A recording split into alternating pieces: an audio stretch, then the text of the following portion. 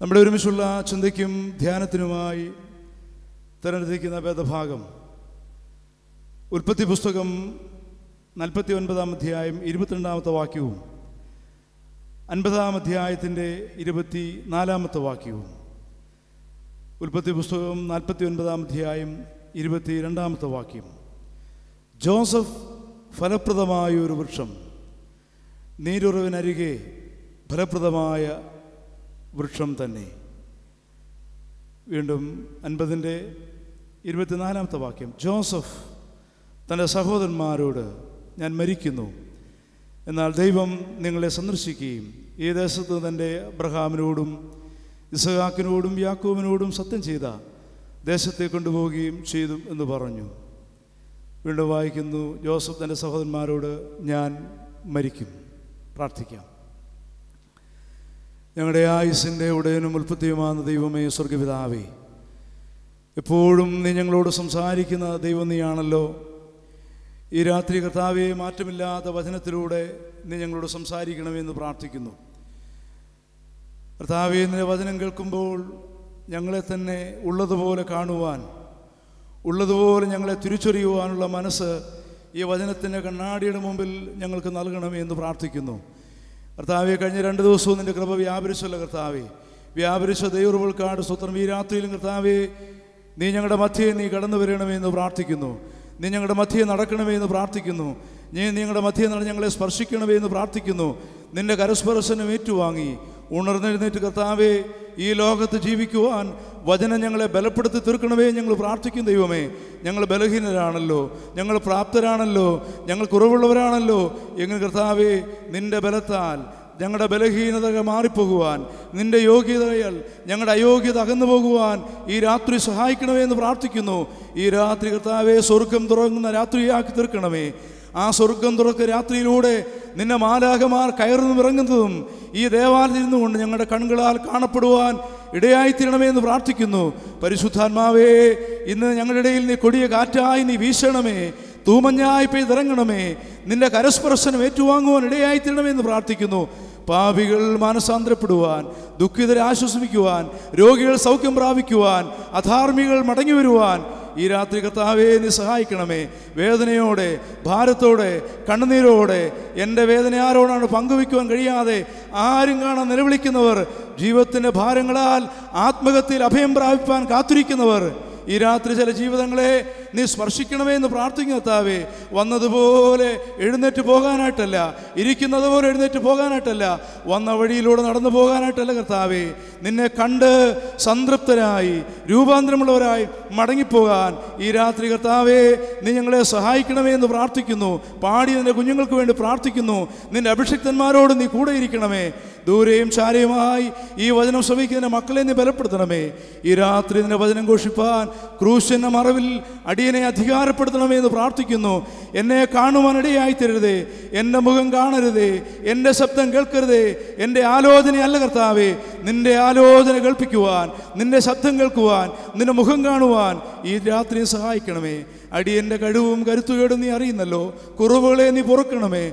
കുറ്റങ്ങളെ ക്ഷമിക്കണമേ. വാക്കുകളെ നൽകണമേ. ആലോചനകളെ നൽകണമേ. അല്ലപ്പാടുകളെ നൽകണമേ. ശുശ്രൂഷിപ്പാൻ ബലപ്പെടുത്തണമേ.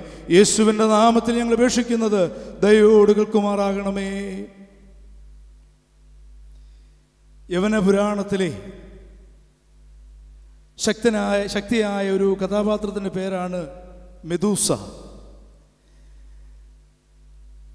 യവന പുരാണത്തിൽ ഏറ്റവും ശക്തിയായ ശ്രദ്ധേയായ ഒരു കഥാപാത്രമാണ് മെദൂസ. രാക്ഷസയായ ഈ മെദൂസയെ കീഴ്പ്പെടുത്താൻ അന്നത്തെ സമൂഹം പരിശ്രമത്തിലാണ്. എന്നാൽ ആ സമൂഹം അവരെ കീഴ്പ്പെടുത്തുവാനുള്ള എല്ലാ ശ്രമങ്ങളും അമ്പയെ പരാജയപ്പെടുകയാണ്. ആ സമൂഹത്തിന് ദോഷം വിതയ്ക്കുന്ന സമൂഹത്തിന് ശാപമായി തീരുന്ന സമൂഹത്തിന് ദുഷ്ടത മാത്രം പ്രവർത്തിക്കുന്ന രാക്ഷസയായ മെദൂസ എന്ന് പറയുന്ന ഈ രാക്ഷസ കഥാപാത്രത്തെ കീഴ്പ്പെടുത്തുവാൻ എല്ലാവരുടെയും പരിശ്രമങ്ങൾ പരാജയപ്പെടുകയാണ്. എന്നാൽ ആ സമൂഹത്തിൽ ഒരു ചെറുപ്പക്കാരൻ മുമ്പോട്ട് വന്നുകൊണ്ട് പറഞ്ഞു ഞാൻ ഈ രാക്ഷസയായ മെദൂസയെ ഞാൻ കീഴ്പ്പെടുത്താം. എനിക്ക് പ്രത്യേക ആയുധങ്ങളൊന്നും എനിക്ക് വേണ്ട. എനിക്കൊരു കണ്ണാടി മാത്രം നൽകിയാൽ മതി. അന്നത്തെ സമൂഹം വളരെ മനോഹരമായി നിർമ്മിച്ച് ഉറപ്പാക്കിയ മനോഹരമായ ഒരു നിലക്കണ്ണാടി ഈ ചെറുപ്പക്കാരന്റെ കരങ്ങളിൽ കൊടുത്തു. കരങ്ങളിൽ കരുതിയ കണ്ണാടിയുമായി ഇതാ ഈ ചെറുപ്പക്കാരൻ മെദൂസ എന്ന് പറയുന്ന ഈ രാക്ഷസയായ ദുഷ്ടയായ സ്ത്രീയെ കീഴ്പ്പെടുത്താനായിട്ട് യാത്രയായി. അങ്ങനെ ഈ രാക്ഷസയായ ഈ സ്ത്രീയെ കണ്ട മാത്രയിൽ തന്റെ കരത്തിൽ കരുതി വെച്ച കണ്ണാടിയെടുത്ത് അവളുടെ കരങ്ങളിലേക്ക് കൊടുത്തു. ആയുസിൽ ആദ്യമായി കണ്ണാടി കണ്ട മെദൂസ ആ കണ്ണാടി തന്നെ മുഖത്തോട് ചേർത്ത് വെച്ച് നോക്കി. ആ കഥ പറയുന്നത് ആ കണ്ണാടിയിൽ തന്റെ വിരൂപമായ രൂപം കണ്ട് പുറകോട്ട് വീണ് ശിരസൊടിഞ്ഞ് മെദൂസ ഈ ലോകത്തോട് യാത്ര പറഞ്ഞു എന്നുള്ളതാണ്. എന്നെ കേൾക്കുന്ന ദൈവജനമേ എത്രയോ നാളുകളായി ഞാനും നിങ്ങളും കണ്ണാടിയുടെ മുമ്പിൽ നിൽക്കുന്നു. എന്നിലും നിങ്ങളിലും നിറഞ്ഞു നിൽക്കുന്ന വൈരൂപ്യങ്ങളെയും വൈകല്യങ്ങളെയും ദുഷ്ടഭാവങ്ങളെയും കാണാനായിട്ട് കഴിയാത്ത സമൂഹമായി ഞാൻ നിങ്ങൾ ഇന്ന് നിൽക്കുകയാണ്. അതുകൊണ്ടെന്ന് ഈ ദിനങ്ങളിലെല്ലാം വചനത്തിന്റെ കണ്ണാടിയുടെ മുമ്പിൽ നിൽക്കുമ്പോൾ ഇന്ന് ഇവിടെ ചില മരണങ്ങൾ നടക്കണം. ഈ വചനത്തിന് മുമ്പിൽ ചില മരണങ്ങൾ നടക്കണം. ഈ സമൂഹത്തിന് ദോഷം വിതയ്ക്കുന്ന ഈ സമൂഹത്തിന് ശാപമായി തീരുന്ന ഈ സമൂഹത്തിന് ദുഷ്ടഭാവങ്ങൾ അസുരഭാവങ്ങൾ ഇവിടെ തകർന്നടിയണം. ഈ പള്ളിയുടെ പടി വിട്ട് പടിയിറങ്ങിപ്പോകുമ്പോൾ വചനത്തിലൂടെ ഉയർത്തു നിൽക്കുന്ന ഒരു പുതിയ സമൂഹമായി നവ സമൂഹമായി തീരുമ്പോഴാണ് ഈ പുനലൂർ കൺവെൻഷൻ അനുഗ്രഹമായി തീരുന്നത്. അങ്ങനെ ഈ ദിനങ്ങളിലെ വചന കേൾവികളെല്ലാം നമ്മിൽ നിറഞ്ഞു നിൽക്കുന്ന ദുഷ്ടഭാവങ്ങളും അസൂയയുടെ ഭാവങ്ങളും എല്ലാ ചതവും ദോഷഭാവങ്ങളും എല്ലാം തകർന്നടിഞ്ഞ് ഒരു പുതിയ ജീവനായി മടങ്ങിപ്പോകുവാനായിട്ട് എനിക്ക് നിങ്ങൾക്കും ഇടയായി തീരണം. വായിച്ച ഭാഗം വളരെ സുപരിചിതമാണല്ലോ. ഇവിടെ ജോസഫിന്റെ ജീവിതമായി ബന്ധപ്പെട്ടതായ ഒരു ഭാഗമാണ് ഞാൻ വായിച്ചത്. കലിജിബ്രാന്റെ കലിജിബ്രാൻ ലെബനോന്യ എഴുത്തുകാരനാണ്. ഒരുപക്ഷെ ഇവിടെ ഇരിക്കുന്ന മിക്കവാറും ചിലരുമൊക്കെ കലിജിബ്രാൻ എന്ന് പറയുന്ന എഴുത്തുകാരന്റെ കൃതികളൊക്കെ വായിച്ചു കാണും.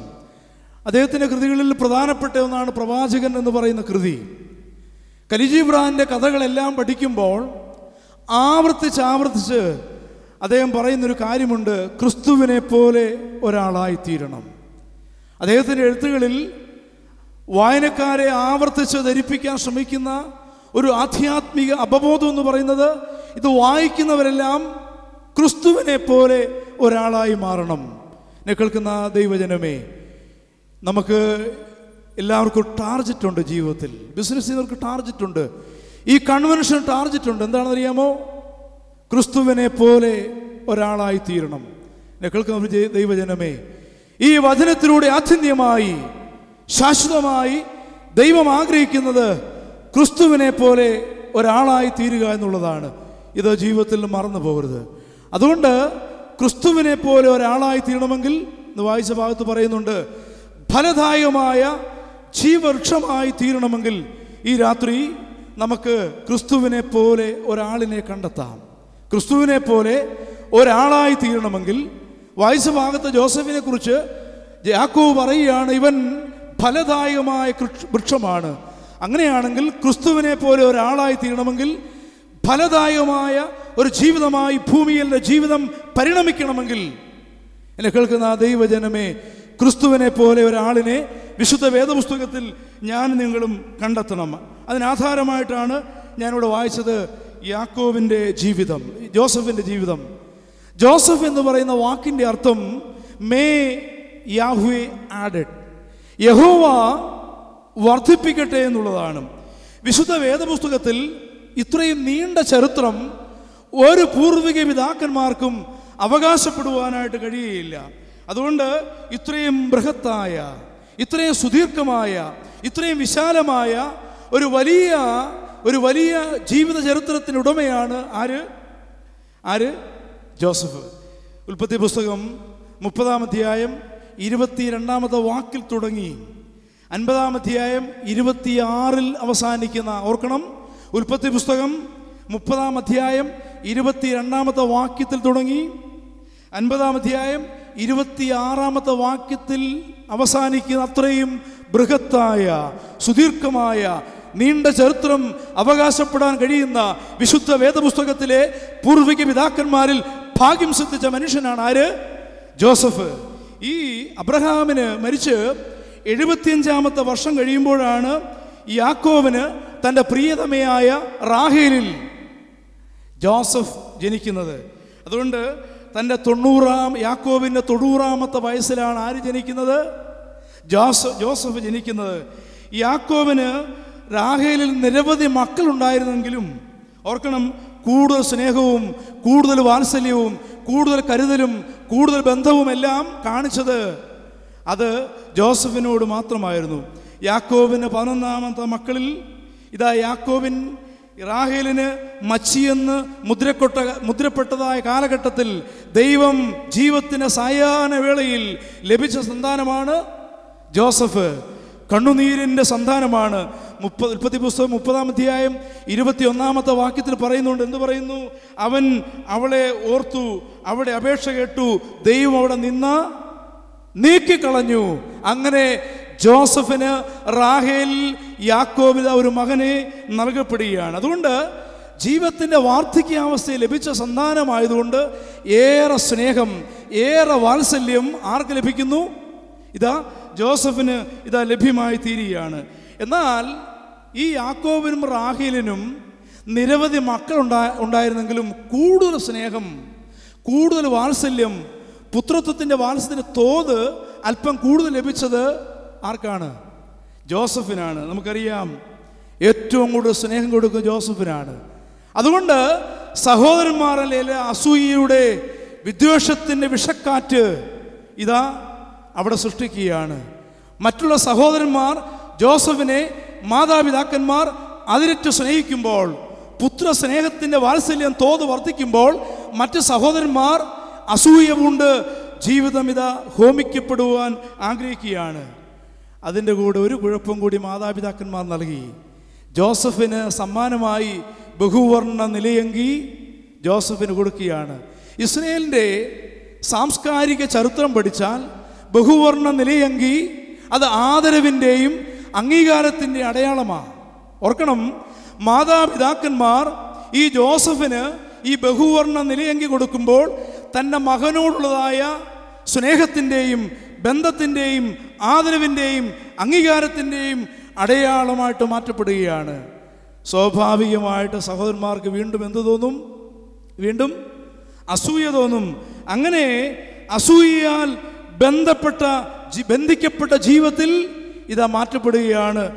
എന്നെ കേൾക്കുന്ന പ്രിയപ്പെട്ടവരെ ജോസഫിന്റെ ജീവിതം. ഓർക്കണം അസൂയ പ്രവർത്തിക്കുന്ന എവിടെയാണ്? ബന്ധങ്ങൾക്കുള്ളിലാണ്. മറന്നു പോകരുത് അസൂയ പ്രവർത്തിക്കുന്നത് ബന്ധങ്ങളുടെ ചുറ്റുവട്ടങ്ങളിലാണ്. അസൂയ പ്രവർത്തിക്കുന്നത് ബന്ധങ്ങളുടെ പരിവട്ടത്തിനുള്ളിലാണ്. ഉദാഹരണം പറയാം. നമ്മുടെ നാട്ടിലുള്ള ആർക്കെങ്കിലും ഒരു ലോട്ടറി അടി ഒരു കോടി രൂപ ലോട്ടറി അടിച്ചാൽ നമുക്ക് വല്ല കുഴപ്പമുണ്ടോ? കുഴപ്പമുണ്ടോ? ഒരു കുഴപ്പമില്ല.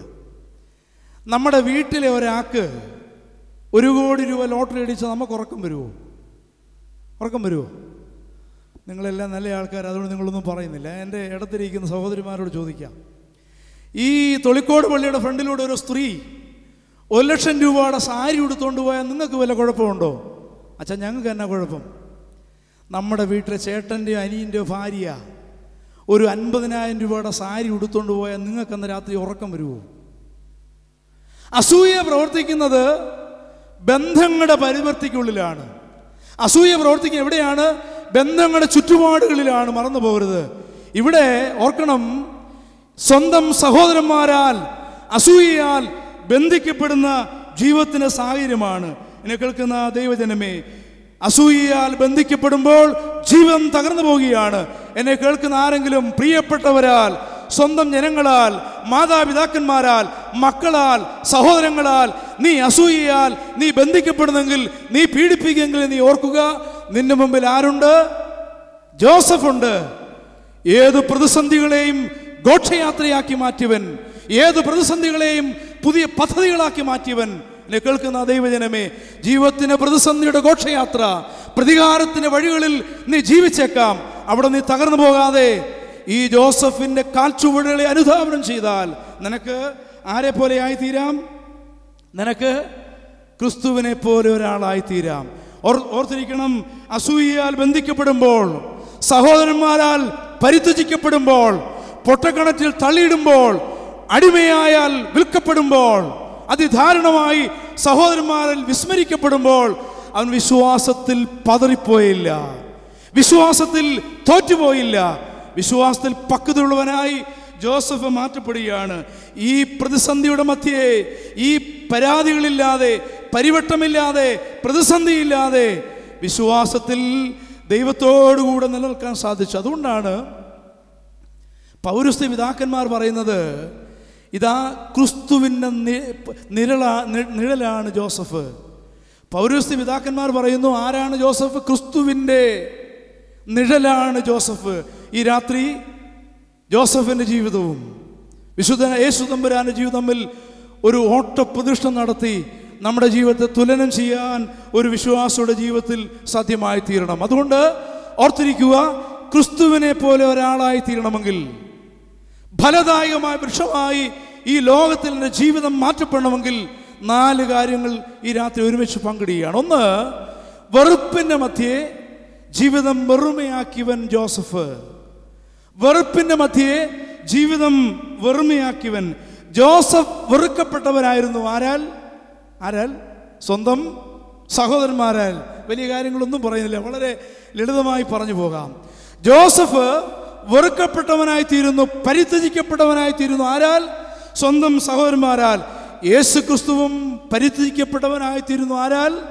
സ്വന്തം ജനത്താൽ. ബന്ധങ്ങളുടെ പരിധിക്കുള്ളിൽ രണ്ടുപേരും വെറുക്കപ്പെടുന്നു രണ്ടുപേരും ഉപേക്ഷിക്കപ്പെടുന്നു രണ്ടുപേരും ഭൂമിയിൽ നിന്ന് അകറ്റപ്പെടുകയാണ് രണ്ടുപേരും വിൽപ്പന ചരക്കുകളായി മാറ്റപ്പെടുന്നു. യേശുദമ്പുരാനെ എത്ര വിളിക്കാശിനാ വിറ്റത്? മുപ്പത്. ജോസഫിനെ എത്ര വെള്ളിക്കാശിനാ വിറ്റത്? ഇപ്പോൾ ആർക്കും ഉത്തരവില്ല. മറ്റേത് ഇടയ്ക്കിടയ്ക്ക് നിയമസഭയെ വിളിച്ച് പറയുന്നതുകൊണ്ട് നമുക്കറിയാം. നിയമസഭ വിളിച്ചു പറയലോ? യൂത മുപ്പത് വെള്ളിക്കാശിന് യേശുവിനെ? അതുകൊണ്ട് നമുക്കതറിയാം. ജോസഫിന് എത്ര വെള്ളിക്കാശിനാ? ഇരുപത് വെള്ളിക്കാശിന് മറന്നു പോകരുത്. ഇരു രണ്ടുപേരും വിൽപ്പന ചരക്കുകളായിട്ട് മാറ്റപ്പെടുകയാണ്. രണ്ടുപേരും കച്ചവട വസ്തുവായി അതപ്പതിക്കപ്പെടുകയാണ്. രണ്ടുപേരും പ്രിയപ്പെട്ടവരാൽ ഉപേക്ഷിക്കപ്പെടും. രണ്ടുപേരും പാതാള രണ്ടുപേരും പാതാളത്തോളം താഴ്ത്തപ്പെടുന്നു. ഓർക്കണം ജോസഫ് പൊട്ടക്കിണറ്റിൽ ഇതാ താഴ്ത്തപ്പെടുന്നു. രണ്ടുപേരും വിധിക്കപ്പെടുന്നു. രണ്ടുപേരും വിസ്തരിക്കപ്പെടുന്നു. രണ്ടുപേരും ചെയ്യാത്ത കുറ്റത്തിന് ശിക്ഷ അനുഭവിക്കപ്പെടുന്നു. യേശു തമ്പുരാൻ നീതിമാന യേശു തമ്പുരാൻ ചെയ്യാത്ത കുറ്റത്തിന് ശിക്ഷ അനുഭവിച്ചെങ്കിൽ ഒരപരാധം ചെയ്യാത്ത ജോസഫും ഇതാ വിസ്തരിക്കപ്പെടുന്നു വിധിക്കപ്പെടുന്നു. എന്നെ കേൾക്ക പ്രിയപ്പെട്ടവരെ പൊട്ടക്കണറ്റിൽ തള്ളിയിടുന്നു ജോസഫിനെ എങ്കിൽ യേശു തമ്പുരാനെ നിരപരാധിയായി തീർന്ന നിഷ്കളങ്ക രക്തത്തിനുടമയായ യേശു തമ്പുരാനെ കാൽവര ക്രൂശിൽ യാഗമായി അർപ്പിക്കപ്പെടുകയാണ്. രണ്ടുപേരും വെറുപ്പിന് ലോകത്തിലൂടെ സഞ്ചരിക്കുന്നു. വെറുപ്പിന്റെ ഭാഷയിലൂടെ രണ്ടുപേരും സഞ്ചയിക്കപ്പെടുന്നു രണ്ടുപേരും വെറുപ്പിന് നീരാളിപ്പിടുത്തത്തിൽ ജീവിതം ഹോമിക്കപ്പെടുകയാണ് എന്നെ കേൾക്കുന്ന പ്രിയപ്പെട്ടവരെ അതുകൊണ്ട് വെറുപ്പിന്റെയും തിരസ്കരണത്തിന്റെയും നഷ്ടത്തിന്റെയും ശാപത്തിന്റെയും ജീവിത വഴികളിലൂടെ രണ്ടുപേരും യാത്രയാക്കപ്പെടുകയാണ്. എന്നാൽ ഈ വെറുപ്പിന്റെ മധ്യേ വെറുമയാക്കാൻ ജോസഫിന്റെ ജീവിതത്തിൽ സാധ്യമായി തീരുന്നു എന്നെ കേൾക്കുന്ന ദൈവജനമേ ഞാൻ ഓർപ്പിച്ചല്ലോ ആരെങ്കിലും എന്നെ കേൾക്കുന്നവർ പ്രിയപ്പെട്ടവരാൽ ബന്ധുജനങ്ങളാൽ സഹോദരന്മാരാൽ മാതാപിതാക്കന്മാരാൽ പുത്രന്മാരാൽ പുത്രിമാരാൽ നീ ഉപേക്ഷിക്കപ്പെടുമ്പോൾ നീ പരിചയപ്പെടുമ്പോൾ നീ ജീവിതത്തിന്റെ വെറുപ്പിന്റെ മധ്യേ ഒരു ദൈവത്തിൽ വെറുമയാക്കുവാനായിട്ടിടയായി തീരണം എന്താ ഈ വെറുമയാക്കുക എന്ന് പറഞ്ഞാൽ? വെറുമയാക്കുക എന്ന് പറഞ്ഞാൽ എന്താ? അത് മനസ്സിലാക്കണമെങ്കിൽ അപ്പോസന വിശുദ്ധ പൗലോസ് ഫിലിപ്പിയ ലേഖനം എഴുതുമ്പോൾ രണ്ടാം അധ്യായത്തിൽ അഞ്ചാം വാക്യത്തിൽ പറയും ക്രിസ്തു യേശുവിന്റെ ഭാവം നിങ്ങളോടുകൂടെ ഇരിക്കട്ടെ. ആ അധ്യായം നമ്മൾ വീട്ടിൽ ചെന്ന് ശാന്തമായിട്ട് പഠിക്കണം. അവിടെ പറയുന്നത് ക്രിസ്തുയേശു ഈ ഭാവം ഇത് താഴ്മയുടെ ഭാവമാ ഇത് വിട്ടുകൊടുക്കുന്ന ഭാവമാ ഇത് എളിമയാക്കുന്ന ഭാവമാ ഇത് വെറുമയാക്കുന്ന ഭാവമാ അധികാരങ്ങളിൽ അള്ളിപ്പിടിച്ചിരിക്കാതെ ഉയർച്ചയുടെ ഉച്ചകോടിയിൽ ഇരിക്കാതെ താഴ്മയുടെ ഭാവങ്ങളിലേക്ക് സ്വർഗത്തിന്റെ മഹോന്നതികളെ വിട്ട് വിട്ടിട്ട് കന്യാ കന്യാ മാതാവിൽ കാലിത്തൊഴുത്തിൽ താഴേക്ക് ഇറങ്ങി വരുന്നവനായ സുതമ്പുരാൻ എന്നെ കേൾക്കുന്ന ദൈവജനമേ അതുകൊണ്ട് ശിശു അവിടെ വായിക്കുന്നു ശിശുവായി തീരുന്നു ദാസനായി തീരുന്നു മനുഷ്യനായി തീരുന്നു ക്രൂശോളം അനുസരണമുള്ളവനായി മാറ്റപ്പെടുന്നു. എങ്ങനെയാണ് വെറുപ്പിന്റെ മധ്യയെ വെറുമയാക്കാൻ ഒരു ദൈവ പൈതല ജീവിതത്തിന് സാധ്യമായി തീരണം.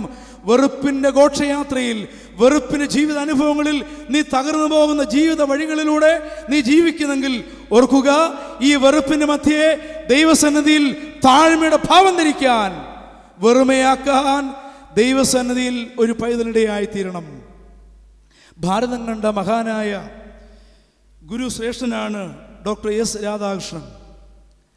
ഒരിക്കൽ അദ്ദേഹം മദ്രാസ് യൂണിവേഴ്സിറ്റിയിൽ നിന്ന് അദ്ദേഹത്തിന് ട്രാൻസ്ഫർ ലഭിച്ചു കൽക്കട്ട യൂണിവേഴ്സിറ്റിയിലേക്ക്.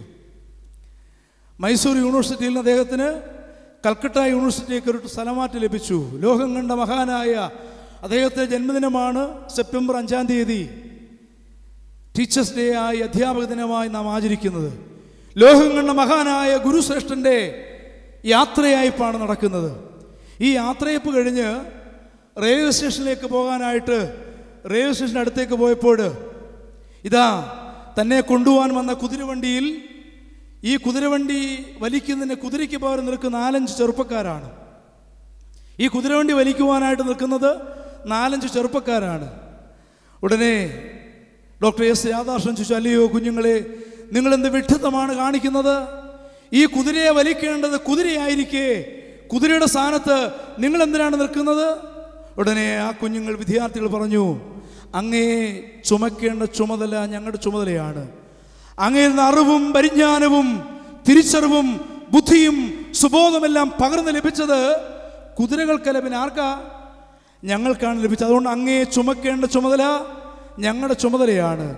എന്നെ കേൾക്കുന്ന ദൈവജനമേ കർത്താവായ യേശു ക്രിസ്തുവിന്റെ തങ്കച്ചോരയാൽ വീണ്ടെടുക്കപ്പെട്ട ദൈവജനമേ നിന്റെ മുഖത്ത് വിടരേണ്ടത് ലോകത്തിന്റെ ഭാവമല്ല വെറുപ്പിന്റെ ഭാവമല്ല അത് വെറുമയാക്കലിന്റെ ഭാവമാണ്. നീ മറന്നു പോകരുത്. ലോകം നിന്നെ വെറുപ്പിന് ലോകത്തിലേക്ക് ക്ഷണിക്കുമ്പോൾ വെറുപ്പിൻ ലോകത്ത് ജീവിക്കാൻ നിന്നെ പ്രഭവിക്കുമ്പോൾ ഒരു ദൈവവൈതൽ വെറുപ്പിൻ ലോകത്ത് വെറുമയാക്കാൻ നിന്റെ ജീവിതത്തിൽ സാധ്യമായി തീരണം അതുകൊണ്ട് എന്നെ കേൾക്കുന്ന ദൈവജനമേ ജീവിതയാത്രയിൽ ഈ ഫിലിപ്പിയ ലേഖനത്തെക്കുറിച്ച് വേദശാസ്ത്രന്മാർ പറഞ്ഞ കനോട്ടിക് പാസേജ് എന്നാണ്. സ്വയം ശൂന്യമാക്കുന്ന പാസേജ് എന്നാണ് വേദശാസ്ത്രന്മാർ പറയുന്നത്. അധികാരത്തിന്റെ ആകാശങ്ങളിരിക്കാതെ അധികാരത്തിന്റെ ഉയർച്ചയിരിക്കാതെ താഴ്മയുടെ ഭാവം ധരിക്കുന്ന കന്യാമറിയാമിൽ കാലിത്തൊഴുത്തിൽ പിറന്നു വീഴുന്നവനായ തമ്പുരാൻ വെറുമയാക്കുന്ന യേശു തമ്പുരാൻ. എന്നെ കേൾക്കുന്ന ദൈവജനമേ ഈ കൺവെൻഷനിൽ ജീവിതയാത്രയെ നിനക്ക് തിരിച്ചറിയാൻ സാധ്യമായി തീരണം ഈ ജോസഫ് ഉയർച്ചയുടെ ഒച്ചുകൂടി നിൽക്കുമ്പോഴും അവന്റെ ജീവിതത്തിലെ ഉയർച്ചയുടെ എല്ലാ പടവുകളും താണ്ടി നിൽക്കുമ്പോഴും അവൻ ഉയർച്ചയുടെ ഉച്ചകോടിയിൽ അഹങ്കരിക്കാതെ ഉയർച്ചയുടെ മേലങ്കി അഴിച്ചു വെച്ച് താഴ്മയുടെ ഭാവം ധരിക്കുന്ന വെറുപ്പിന്റെ മധ്യേ വെറുമയാക്കാൻ സാധ്യമായി തീരുന്ന ജീവിതത്തിന്റെ അനുഭവം. നാൽപ്പത്തി ഒന്നാം അധ്യായം ഉൽപ്പത്തി പുസ്തകം നാൽപ്പത്തി ഒന്നാം അധ്യായം നാൽപ്പതാമത്തെ വാക്യം വായിക്കുമ്പോൾ പറയുന്നുണ്ട് ജോസഫിന്റെ ജീവിതത്തിന്റെ ഉയർച്ചയെക്കുറിച്ചോട് വായിക്കുന്നുണ്ട് ഉയർച്ചയുടെ ഉച്ചകോടി നിൽക്കുന്ന സമൃദ്ധിയിൽ സമ്പന്നതയുടെ പാരമ്യതയിൽ നിൽക്കുന്ന ജോസഫ് പ്രതാപത്തിന്റെ കൊടുമുടി നിൽക്കുന്ന ജോസഫ് പേരും പെരുമയുള്ള ജോസഫ് നാൽപ്പത്തിയൊന്നിന്റെ നാൽപ്പതാ നാൽപ്പതാമത്തെ വാക്യത്തിൽ കാണുന്നു ഇതിന്റെ മധ്യേ അവൻ എന്തോ ആക്കി? വെറുമയാക്കി. അവിടെ താഴോട്ട് വായിക്കുമ്പോൾ കാണുന്നുണ്ട് പറവോന് ജോസഫിന് കൊടുക്കുന്ന സുന്ദരമായ പദവികളെക്കുറിച്ച് നാൽപ്പതാം അധ്യായം നാൽപ്പത്തി ഒന്നാം അധ്യായം നാൽപ്പത് മുതലുള്ള വാക്യത്തിൽ പ്രകാരം വായിക്കുന്നു. എന്താ പറയുന്നത്? ഇതാ നീ എന്റെ ഗൃഹത്തിന് മേലധികാരിയായിരിക്കും. നിന്റെ വാക്ക് എന്റെ ജനം അനുസരിക്കും. ഇതാ ഇസ്രയേൽ ദേശമൊക്കെയും ഇതാ നിന്റെ മുമ്പിൽ വെച്ചിരിക്കുന്നു. പറവോന്റെ മുദ്രമോദ്ര ഊരി ജോസഫിന്റെ കയ്യിൽ കൊടുത്തു. ജോസഫിന് വിലിട്ട് കൊടുത്തു നേർമയുള്ള വസ്ത്രം ധരിപ്പിച്ചു. സ്വർണ സരപ്പളിയ സഞ്ചരിക്കുവാനായിട്ട് അവന് കഴുത്തിലിട്ട് കൊടുത്തു തന്റെ രണ്ടാം രഥത്തിൽ കയറ്റി. ഓർക്കണം ആർക്ക് കൊടുക്കുന്ന? ബറബോൻ ജോസഫിന് കൊടുക്കുകയാണ്. അത്രമാത്രം അത്രമാത്രം ഉയർച്ചയെ നിൽക്കുമ്പോഴും ജോസഫ് വെറുപ്പിന്റെ മധ്യയെ ദൈവസന്നതിയിൽ വെറുമയാക്കിയവൻ. നമ്മൾ വായിക്കുന്നുണ്ട് സഹോദരന്മാർ തന്റെ വസ്ത്രം അഴിച്ചു മാറ്റിയെങ്കിൽ ഓർക്കണം. സഹോദരന്മാർ പീഡിതനായി അടിമയായി വിൽപ്പന ചരക്കായി വിൽക്കുമ്പോൾ തന്റെ തന്റെ വസ്ത്രം അഴിച്ചു മാറ്റിയെങ്കിൽ ഇവിടെ നമ്മൾ വായിക്കുന്നു രാജവസ്ത്രം പറവോൻ അവന് കൊടുത്തു. ഓർക്കണം ദൈവസന്നതിയിൽ ദൈവസന്നതിയിൽ വെറുപ്പിന്റെ മധ്യേ പ്രതികാരത്തിന്റെ മധ്യേ വിദ്വേഷത്തിന്റെ മധ്യേ നിന്റെ ശത്രുവിനെ നീ ആദരിച്ചാൽ ദൈവം നിന്നെ ആദരിക്കും. Praise the Lord praise the Lord എന്നെ പ്രിയപ്പെട്ട സഹോദരന്മാർ അവന്റെ വസ്ത്രം അഴിച്ചു വെച്ചെങ്കിൽ വിൽപ്പന ചരക്കായി മാറ്റിയെങ്കിൽ ഇവിടെ വായിക്കുന്നു ഫറവോൻ തന്റെ നേർമുള്ള വസ്ത്രം ആർക്ക് കൊടുത്തു? ജോസഫിന് കൊടുത്തു. വീണ്ടും വായിക്കുന്നു സഹോദരൻ പൊട്ടക്കണറ്റ് തള്ളിയിട്ടെങ്കിൽ ഫറവോനിന് രണ്ടാം രഥത്തിൽ കയറാനുള്ള ഭാഗ്യം ആർക്ക് കൊടുത്തു? ജോസഫിന് കൊടുക്കുകയാണ്. സഹോദരന്മാർ നിർബന്ധപൂർവം തങ്ങളെ നമസ്കരിക്കാൻ ആവശ്യപ്പെട്ടെങ്കിൽ രാജാവ് കൽപ്പന കൊടുക്കുകയാണ് ദേശത്തെ ജനമെല്ലാം പറവോനെ വീണ് നമസ്കരിക്കണം. ഓർക്കുക ദൈവജനമേ വിരോധത്തിന്റെ വഴികളിൽ നിന്നെ പ്രലോഭന പ്രലോഭിപ്പിക്കുന്നെങ്കിൽ ഈ വെറുപ്പിന് മധ്യേ ഒരു ദൈവവിതൽ വെറുമയാക്കാൻ നിന്റെ ജീവിതത്തിന് സാധ്യമായി തീണം നാൽപ്പത്തി ഒന്നിന്റെ പതിനാറാമത്തെ വാക്യത്തിൽ ഇപ്രകാരം വായിക്കുന്നു. എന്ത് വായിക്കുന്നു? എന്റെ ശക്തിയുടെ ഉറവിടം ദൈവമാണ്. ഈ പ്രതാപത്തിന് മധ്യേ ജീവിക്കുമ്പോൾ ഈ ഔന്നത്യത്തിന് മധ്യേ ജീവിക്കുമ്പോൾ ഈ സമൃദ്ധിയുടെ മധ്യേ ജീവിക്കുമ്പോൾ ഈ പരമോന്നതമായ ഉന്നത പദവിയുടെ മധ്യേ ജീവിക്കുമ്പോൾ ഒരു മനുഷ്യൻ പറയുകയാണ് താഴ്മയുടെ ഭാവം ധരിച്ചുകൊണ്ട് പറയുകയാണ് എന്റെ ശക്തിയുടെ എന്റെ ഭക്തിയുടെ എന്റെ ജ്ഞാനത്തിന്റെ എന്റെ അറിവിന്റെ എന്റെ അധികാരത്തിന്റെ അടിസ്ഥാനം എവിടെയാ? ദൈവത്തിലാണ്. നാൽപ്പത്തി ഒന്നിന് പതിനാറാമത്തെ വാക്യത്തിൽ പറയുകയാണ് എന്റെ ബുദ്ധിയുടെയും എന്റെ പ്രഭയുടെയും എന്റെ ശക്തി അടിത്തറ ദൈവത്തിലാണ് എന്റെ ആരോഗ്യം എന്റെ സമ്പത്ത് എന്റെ ആസ്തി അതിന്റെ എല്ലാ ആധാരം എവിടെയാ? എവിടെയാ? ദൈവത്തിൽ നമ്മുടെ ആധാരം എവിടാ?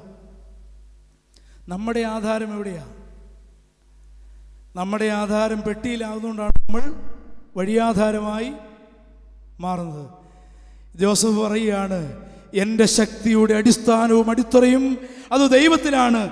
എന്നെ കേൾക്കുന്ന ദൈവജനമേ ജീവിതയാത്രയിൽ ആരെങ്കിലും നിങ്ങളുടെ പ്രിയപ്പെട്ടവരാൽ അടർത്തി മാറ്റി ബന്ധങ്ങളെ മുറിച്ചു വെച്ച് വിരോധത്തിന്റെ വഴിയിലൂടെ നീ ജീവിക്കുന്നെങ്കിൽ ഈ രാത്രി ദൈവം നമ്പുരാൻ വ്യക്തമായതിനോട് പറയുകയാണ് ഈ വെറുപ്പിന് മധ്യേ ദൈവസന്നിധിയിൽ നിന്നെ വെറുത്തവരെ ആദരിക്കാൻ വെറുപ്പിന് മധ്യേ വെറുമയാക്കാൻ ഒരു ദൈവത്തിന്റെ ജീവിതത്തിൽ സാധ്യമായി തീരണം അതുകൊണ്ട് ക്രിസ്തുവിനെ പോലെ ഒരാളായി തീരണമെങ്കിൽ ജോസഫിനെ പോലെ ഫലദായകമായ വൃക്ഷമായി ഭൂമിയിൽ പല്ലസിക്കണമെങ്കിൽ നീ ഓർത്തിരിക്കുക വെറുപ്പിന്റെ മധ്യേ വെറുമയാക്കാൻ ഒരു ദൈവത്തിന്റെ ജീവിതത്തിൽ സാധ്യമായി തീരണം രണ്ട് ഫലദായകമായ ജീവിതം വൃക്ഷമായി ജീവിതം തീരണമെങ്കിൽ ക്രിസ്തുവിനെ പോലെ ഒരാളായി തീരണമെങ്കിൽ ഇവിടെ പറയുന്നു പരീക്ഷിക്കപ്പെട്ടവനെങ്കിലും പരീക്ഷകളിൽ അതിജീവിച്ചവൻ ജോസഫ്.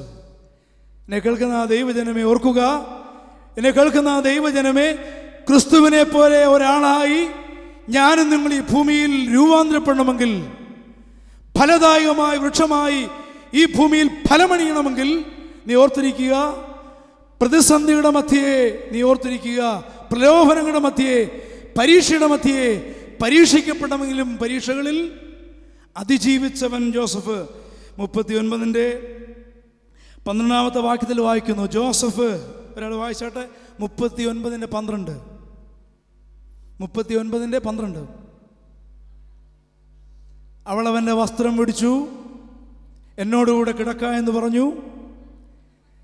തന്റെ വസ്ത്രമിട്ടിട്ട് ഏ പുറത്തെ തന്റെ വസ്ത്രമിട്ടിട്ട് പുറത്തേക്ക് ഓടിക്കളഞ്ഞു. സംഭവം നിൽക്കറിയ യുവസുന്ദരനായ യുവകോമളനായ ജോസഫിനെ യൗവനയുക്തിയായ പോത്തിഫന്റെ ഭാര്യ പ്രലോഭനത്തിന്റെ തന്ത്രത്താൽ കീഴ്പ്പെടുത്താൻ ശ്രമിക്കുമ്പോൾ സുന്ദരിയായ യൗവനയുക്തയായ പോത്തിപ്പന്റെ ഭാര്യ സുന്ദരനായ ജോസഫിനെ തന്റെ പ്രലോഭനത്തിന്റെ തന്ത്രത്താൽ കീഴ്പ്പെടുത്താൻ ശ്രമിക്കുമ്പോൾ അവിടെ വായിക്കുക തന്റെ പുതപ്പ് ഇട്ടിട്ട് എവിടേക്ക് പോയി? പുറത്തേക്ക് ഓടിപ്പോയി. കേൾക്കുന്ന ദൈവജനമേ തനിക്ക് കരുതലെന്ന് കരുതിയിരുന്ന തനിക്ക് കാവലായിരുന്ന തന്റെ വസ്ത്രത്തെ സൂക്ഷിച്ചിരുന്ന തന്റെ വസ്ത്രമിട്ടിട്ട് പുറത്തേക്ക് ഓടിപ്പോയി. എന്നെ കേൾക്കുന്ന പ്രിയപ്പെട്ടവരെ അതുകൊണ്ട് സഹോദരന്മാർ ജീവിതത്തിൽ ഓർക്കണം നിന്റെ ജീവിതത്തിൽ പ്രലോഭനങ്ങൾ ഏറ്റുവാങ്ങുമ്പോൾ കരുതലെന്ന് കരുതിയിരുന്ന തനി കാവലെന്ന് കരുതിയിരുന്ന തന്റെ വസ്ത്രമിട്ട് എവിടേക്ക് പോയി? പുറത്തേക്ക് എന്തിനു വേണ്ടിയാ? മൂല്യങ്ങളെ സംരക്ഷിക്കുവാൻ. ഓർക്കണം ദൈവരാജ്യ മൂല്യങ്ങളെ സംരക്ഷിക്കുവാൻ പ്രലോഭനങ്ങൾ തകർന്നു പോകാതിരിപ്പാൻ തനി കാവലെന്ന് കരുതിയിരുന്ന തന്റെ വസ്ത്രമിട്ട് പുറത്തേക്ക് ഓടിപ്പോയി. എന്നെ കേൾക്കുന്ന പ്രിയപ്പെട്ടവർ ഓർക്കുക ചിലതിനെ നീ ഉപേക്ഷിച്ചെങ്കിലേ ദൈവരാജ്യ മൂല്യങ്ങളെ സംരക്ഷിക്കാൻ കഴിയുള്ളൂ എന്നെ കേൾക്കുന്ന ദൈവജനമേ ഈ രാത്രിയിൽ നീ ഓർക്കുക നിന്നെ രസിപ്പിക്കുന്ന നിന്നെ സുഖിപ്പിക്കുന്ന പാപത്തിന്റെ വഴികളെ നീ ഉപേക്ഷിക്കാതെ നിനക്ക് ദൈവരാജ്യ മൂല്യങ്ങളെ സംരക്ഷിക്കുവാൻ കഴിയുകയില്ല. നിന്നെ രസിപ്പിക്കുന്ന നിന്നെ നശിപ്പിക്കുന്ന പാപത്തിന് സ്വാധീനങ്ങളെ പാപത്തിന്റെ ദുശീലങ്ങളെ ഉപേക്ഷിച്ചെങ്കിൽ മാത്രമേ വിട്ടുകളഞ്ഞെങ്കിൽ മാത്രമേ നിനക്ക് ദൈവരാജ്യത്തിന്റെ മൂല്യങ്ങളെ സംരക്ഷിക്കുവാൻ മുറുകെ പിടിക്കാൻ കഴിയുള്ളൂ. ചിലതിനെ ഈ രാത്രിയിൽ ഉപേക്ഷിക്കാൻ നീ തയ്യാറാകണം. ഓർക്കുക പാപത്തെ താലോലിക്കുന്ന സഹോദര പാപത്തെ പ്രണയിക്കുന്ന സഹോദരി നിന്റെ രഹസ്യ പാപങ്ങളെ ആരും കാണാത്ത പാപങ്ങളെ നിന്റെ പരസ്യ പാപങ്ങളെ നിന്നെ നശിപ്പിക്കുന്ന ലോകത്തിന്റെ വഴികളെ ഉപേക്ഷിച്ച് കളയാതെ നിനക്ക് ദൈവരാജ്യത്തെ സംരക്ഷിക്കുവാൻ കഴിയുകയില്ല. ഇവിടെ പറയുന്നു തനി കരുതലെന്ന് കരുതിയിരുന്ന തനിക്ക് കാവലായിരുന്ന തന്റെ വസ്ത്രമിട്ടിട്ട് പുറത്തേക്ക് ഓടിപ്പോയി പരീക്ഷകളിൽ പതറിപ്പോകാതെ പരീക്ഷകളിൽ ഇടറിപ്പോകാതെ ഇതാ പരീക്ഷകളെ അതിജീവിക്കുവാൻ ഇവിടെ ഇതാ സാധ്യമായി തീരുകയാണ്. അതുകൊണ്ട് ഈ രാത്രിയിൽ ഈ രാത്രിയിൽ മദ്യത്തിന് മാസ്മഹയിൽ ജീവിക്കുന്ന ആരെങ്കിലും ഉണ്ടെങ്കിൽ സഹോദര മദ്യപാനി ദൈവരാജ്യം അവകാശമാക്കിയില്ല. നിന്റെ ഭാര്യ പാതി വഴിയിൽ നിന്റെ ഭാര്യ അനാഥത്തിലേക്ക് വലിച്ചെറിയപ്പെടാതിരിപ്പാൻ നിന്റെ കുഞ്ഞുങ്ങൾ അനാഥത്തിലേക്ക് വലിച്ചെറിയപ്പെടാൻ നിന്റെ അമ്മയുടെ പേറ്റുനോവിന്റെ വേദന കണ്ണുനീരായി മാറാതിരിക്കാൻ മദ്യപാനി മടങ്ങി വരാൻ പരിശുദ്ധാത്മാവ് ഈ രാത്രി നിന്നെ വെല്ലുവിളിക്കുകയാണ്. പാപത്തെ ഉപേക്ഷിപ്പാൻ പാപത്തെ വിട്ടുകളയാൻ ദൈവം നിന്നെ വിളിക്കുകയാണ്. ഏത് ജീവിതത്തിന്റെ പാപത്തിന്റെ ദുശീലങ്ങളിൽ അധർമ്മത്തിന്റെ അത്താഴമുണ്ടെന്ന സഹോദര ദൈവം രാത്രി മടങ്ങി വരാൻ മാനസാന്തരപ്പെടാൻ ദൈവം നിന്നെ വിളിക്കുകയാണ്. ഇവിടെ ഇതാ ജോസഫ് പ്രലോഭനത്തിന് തന്ത്രത്താൽ അവനെ കീഴ്പ്പെടുത്താൻ ശ്രമിക്കുമ്പോൾ നന്മയുടെ മൂല്യങ്ങൾക്ക് വേണ്ടി ദൈവരാജ്യത്തിന്റെ മൂല്യങ്ങളെ മുറുകെ പിടിക്കാൻ ഇതാ തന്റെ വസ്ത്രമിട്ട് അവൻ ഓടിപ്പോവുകയാണ്. ഇന്ന് പലതിനെയും വിട്ടുകളയാൻ ഞാൻ നിങ്ങളുമെന്ന് തയ്യാറല്ല. സഭയിലും പള്ളിയിലും പള്ളിക്കൂടങ്ങളിലും സഭയിലും സമൂഹത്തിലും പലരെ വിട്ടുകളയാൻ കസേര കളയാൻ കയ്യിലുള്ളത് കളയാൻ കഷത്തിരിക്കുന്നത് കളയാൻ നമുക്കിന്ന് മടിയാണ്. എന്നാൽ ദൈവം എന്റെ കേൾക്കുന്ന ദൈവജനമേ അതുകൊണ്ട് ചിലതിനെ ജീവിതത്തിൽ രാത്രി നീ ഉപേക്ഷിച്ച് കളയാനായിട്ട് നീ തയ്യാറാകണം. യേശു ക്രിസ്തുവിനെ നോക്കിക്കേ. നാൽപ്പത് ദിവസം രാവും പകലും ഉപവാസം കഴിഞ്ഞ് മരുഭൂമിയുടെ പടിവാതിക്കത്ത് നിൽക്കുമ്പോൾ സാത്താൻ പ്രലോഭനത്ത് തന്ത്രത്താൽ യേശു ക്രിസ്തുവിനെ കീഴ്പ്പെടുത്താൻ ശ്രമിക്കുകയാണ്. വിശപ്പിന്റെ വിളി തന്നെ മുമ്പിലുണ്ട്. എല്ലാ പ്രലോഭനങ്ങൾക്കും കീഴ്പ്പെടാനുള്ള സാധ്യതകൾ യേശുമ്പരാൻ മുമ്പിരിക്കുമ്പോൾ മൂന്ന് പ്രലോഭനങ്ങൾ.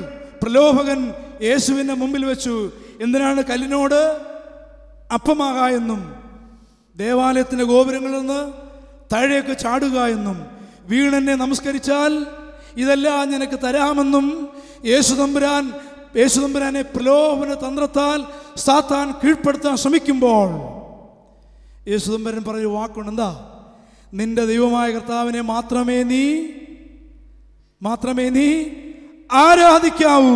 Praise Lord praise Lord hallelujah hallelujah യേശു തമ്പുരാൻ സാത്താന്റെ മുഖത്ത് നോക്കി പറയുകയാണ് നിന്റെ ദൈവമായ കർത്താവിനെ മാത്രമേ നീ എന്ന് പറഞ്ഞ അർത്ഥം എന്താ? മറ്റുള്ളതിനേക്കാൾ മറ്റു പലതിനേക്കാൾ വലുത് ദൈവമാണെന്നും അതുകൊണ്ട് ഒരു ദൈവ പൈതൽ കൊള്ളേണ്ടതിനെ കൊള്ളുവാനും തള്ളേണ്ടതിനെ തള്ളുവാനും ഒരു ദൈവ ജീവിതത്തിൽ സാധ്യമായി തീരണം. എന്നെ കേൾക്കുന്ന പ്രിയപ്പെട്ടവരെ നിന്റെ ജീവിതയാത്രയിൽ നിന്റെ പരസ്യ ജീവിതത്തിൽ നിന്റെ രഹസ്യ ജീവിതത്തിൽ തള്ളേണ്ടതിനെ തള്ളുവാനും കൊള്ളേണ്ടതിനെ കൊള്ളുവാനും നിന്റെ ജീവിതത്തിൽ സാധ്യമായി തീരണം. അതുകൊണ്ട് ഒരു ദൈവ പൈതല ജീവിതത്തിൽ ദൈവം കേൾക്കുവാൻ ആഗ്രഹിക്കുന്ന കാര്യമാണ് എന്ത് നിന്റെ ദൈവത്തെ മാത്രമേ നീ ആരാധിക്കാവൂ. ഇതൊരു വിശ്വാസിയുടെ ഉറച്ച നിലപാടായി മാറണം. ഒരു ദൈവവൈതലിന്റെ തീരുമാനമായി മാറണം. ഒരു ദൈവത്തിന്റെ വിശ്വാസ പ്രഖ്യാപനമായി മാറണം. എന്താണ്? ഈ ലോകത്തിൽ അനവധ കാര്യങ്ങളിൽ എന്നെ പ്രലോഭിപ്പിക്കാൻ ശ്രമിക്കുമ്പോൾ ഒരു ദൈവവേദന നാ മനസ്സിൽ അവന്റെ ഹൃദയങ്ങളിൽ അവന്റെ നാവിൽ ഉതിർന്നു വരേണ്ടത് ഇത് മാത്രമായിരിക്കണം. എന്താണ്? എന്റെ ദൈവത്തെ മാത്രമേ ഞാൻ നമസ്കരിക്കൂ. ലോകത്തെ നമസ്കരിക്കാൻ ലോകത്തിന് പിന്നാലെ പോകാൻ എന്നെ കേൾക്കുക പ്രിയപ്പെട്ടവരെ ഒരുപാട് പ്രലോഭനങ്ങൾ നിന്നെ മാടി വിളിക്കുമ്പോൾ ഒരു ദൈവത്തിന് പറയാൻ സാധിക്കണം. എന്റെ ദൈവത്തിന്റെ വഴികളിലൂടെ അല്ലാതെ ഞാൻ പോകുകയില്ല. ഇത് നമ്മുടെ പ്രഖ്യാപനമായി മാറ്റപ്പെടാനിടയായിത്തീരണം. എന്ന യുവജനങ്ങളെ നമ്മുടെ കുഞ്ഞുങ്ങളെ ഒരുപാട് പ്രലോഭനങ്ങളിൽ നിന്ന് മാടി വിളിക്കുന്നുണ്ട്. വർത്തമാനകാല സംഭവങ്ങൾ ഓരോന്നും പറയുന്നുണ്ട്. നമ്മൾ ജീവിച്ച കാലത്തല്ല നമ്മുടെ കുഞ്ഞുങ്ങൾ ജീവിക്കുന്ന മറന്നു പോകരുത് നമ്മൾ ജീവിക്കുന്ന കാലത്തല്ല നമ്മുടെ കുഞ്ഞുങ്ങൾ ജീവിക്കുന്നത്. വീണു പോകാൻ മയങ്ങിപ്പോകാൻ തകർന്നു പോകാൻ സാധ്യതയുണ്ട്. പ്രലോഭകൻ നമ്മുടെ കുഞ്ഞുങ്ങളെ മദ്യത്തിന് മാസ്മലഹരിയിൽ ഇന്ന് കുഞ്ഞുങ്ങളെ തകർത്തി കളയാൻ സാത്താൻ പ്രലോഭനം ശ്രമിക്കുമ്പോൾ ഒരു ദൈവ പൈതലിന്റെ ഒരു മാർത്തോമ വിശ്വാസിയുടെ ഒരു യു യുവജന സഖ്യാംഗത്തിന്റെ നാവിൽ നുതിർന്നു വരേണ്ടത് ഇത് മാത്രമായിരിക്കണം. എന്റെ ദൈവത്തെ മാത്രമേ ഞാൻ ആരാധിക്കാവൂ. എന്നെ കേൾക്കുന്നത് അതുകൊണ്ട് പ്രലോഭനങ്ങളിൽ തകർന്നിരിപ്പാൻ ഒരു ദൈവ സൂക്ഷ്മതയോടെ ജീവിക്കണം. പ്രലോഭനങ്ങളിൽ തകർന്നു പോകാതിരിപ്പാൻ ഒരു ദൈവം എന്ത് ചെയ്യണം? സൂക്ഷ്മതയോടെ ജീവിക്കണം വിശുദ്ധിയോടെ ജീവിക്കണം വേറിട്ട് നടക്കണം ഉണർന്ന് ജീവിക്കണം ജാഗ്രതയോടെ ജീവിക്കണം. ഒരു ഈ പ്രലോഭനങ്ങളിൽ വീണു പോകാതിരിപ്പാൻ വേറിട്ടവനായി ജീവിക്കണം. ഉണർന്ന് ജീവിക്കണം മാറി ജീവിക്കണം ജാഗ്രതയോടെ ജീവിക്കണം. ഭാരതം കണ്ട ഭാരതം കണ്ട മഹാനായ സ്വാമി വിവേകാനന്ദൻ പറഞ്ഞ ഉദ്ദിഷ്ടത ജാഗ്രത പ്രാപ്തി വരാൻ നിബോധിത. സ്വാമി പറയുകയാണ് സ്വാമി വിവേകാനന്ദൻ പറയുകയാണ് ഉദ്ദിഷ്ടത ജാഗ്രത പ്രാപ്യ വരാൻ നിബോധിത. അതിനർത്ഥം എന്താ? ഉണരുക എഴുന്നേൽക്കുക. ശത്രു നിന്റെ പടിവാതിക്കലുണ്ട്. ഭാരത ജനതയോട് സ്വാമി വിവേകൻ പറയുക ഉണരുക എഴുന്നേൽക്കുക. ശത്രു നിന്റെ പടിവാതിക്കലുണ്ട്. എന്നെ കേൾക്കുന്ന പ്രിയപ്പെട്ടവരെ ഞാനും നിങ്ങൾ ജീവിക്കുന്ന കാലഘട്ടത്തിൽ പ്രലോഭകൻ പ്രലോഭനത്താൽ നിന്നെ തകർക്കാൻ ശ്രമിക്കുമ്പോൾ ഉണരുക എഴുന്നേൽക്കുക. വിശുദ്ധിയോടെ ജാഗ്രതയോടെ ജീവിക്കണം. ഹൈന്ദവ പുരാണത്തിൽ അസുരന്മാരും ദേവന്മാരും സംയുക്തമായി ചെയ്തൊരു പ്രവൃത്തിയുണ്ട്. എന്താണെന്നറിയാമോ? ഏതാ? പാലാഴി കടയാൻ പോയി. എന്തിനു വേണ്ടിയാ? അമൃതെടുക്കാൻ വേണ്ടി. പാലാഴി കഴിഞ്ഞ് അമൃതെടുക്കാനായിട്ട് അസുരന്മാരും ദേവന്മാരും സംയുക്തമായിട്ട് അവർ പോകുകയാണ്. എന്തിനു വേണ്ടി അമൃതെടുക്കുന്നത്? അനശ്വര ജീവൻ ലഭിക്കാൻ. മരിക്കാതിരിക്കാനായിട്ടാണ് അമൃതെടുക്കുന്നത്. അങ്ങനെ അവർ പോയി. പോയപ്പോൾ പാലാഴി കടഞ്ഞ് അമൃത അമൃതെടുക്കാൻ പോകുമ്പോൾ ആദ്യം വരുന്നത് എന്താ? കാളകൂടെ വിഷമാ വരുന്നത്. പോയതെന്തിനാ അമൃതെടുക്കാൻ മരിക്കാതിരിക്കാൻ. നിത്യമായി നിലനിൽക്കാൻ. അമൃതെടുക്കാൻ പോയപ്പോൾ സത്യമെടുക്കാൻ പോയപ്പോൾ വരുന്നത് എന്താണ്? വിഷമാണ് വരുന്നത്. ഇത് കണ്ടപ്പോൾ അസുരന്മാർക്കും ദേവന്മാർക്കും സങ്കടം തോന്നി. അവിടെ സങ്കടം തോന്നിയപ്പോൾ പരമശിവന് പ്രയാസം തോന്നി. ഈ കാളകൂടെ വിഷമെടുത്ത് കുടിച്ചു. കുടിച്ചപ്പോൾ അസുരന്മാർക്കും ദേവന്മാർക്കും സന്തോഷം തോന്നി. ഒരാൾക്ക് മാത്രം പ്രയാസം തോന്നി. ആർക്കാ?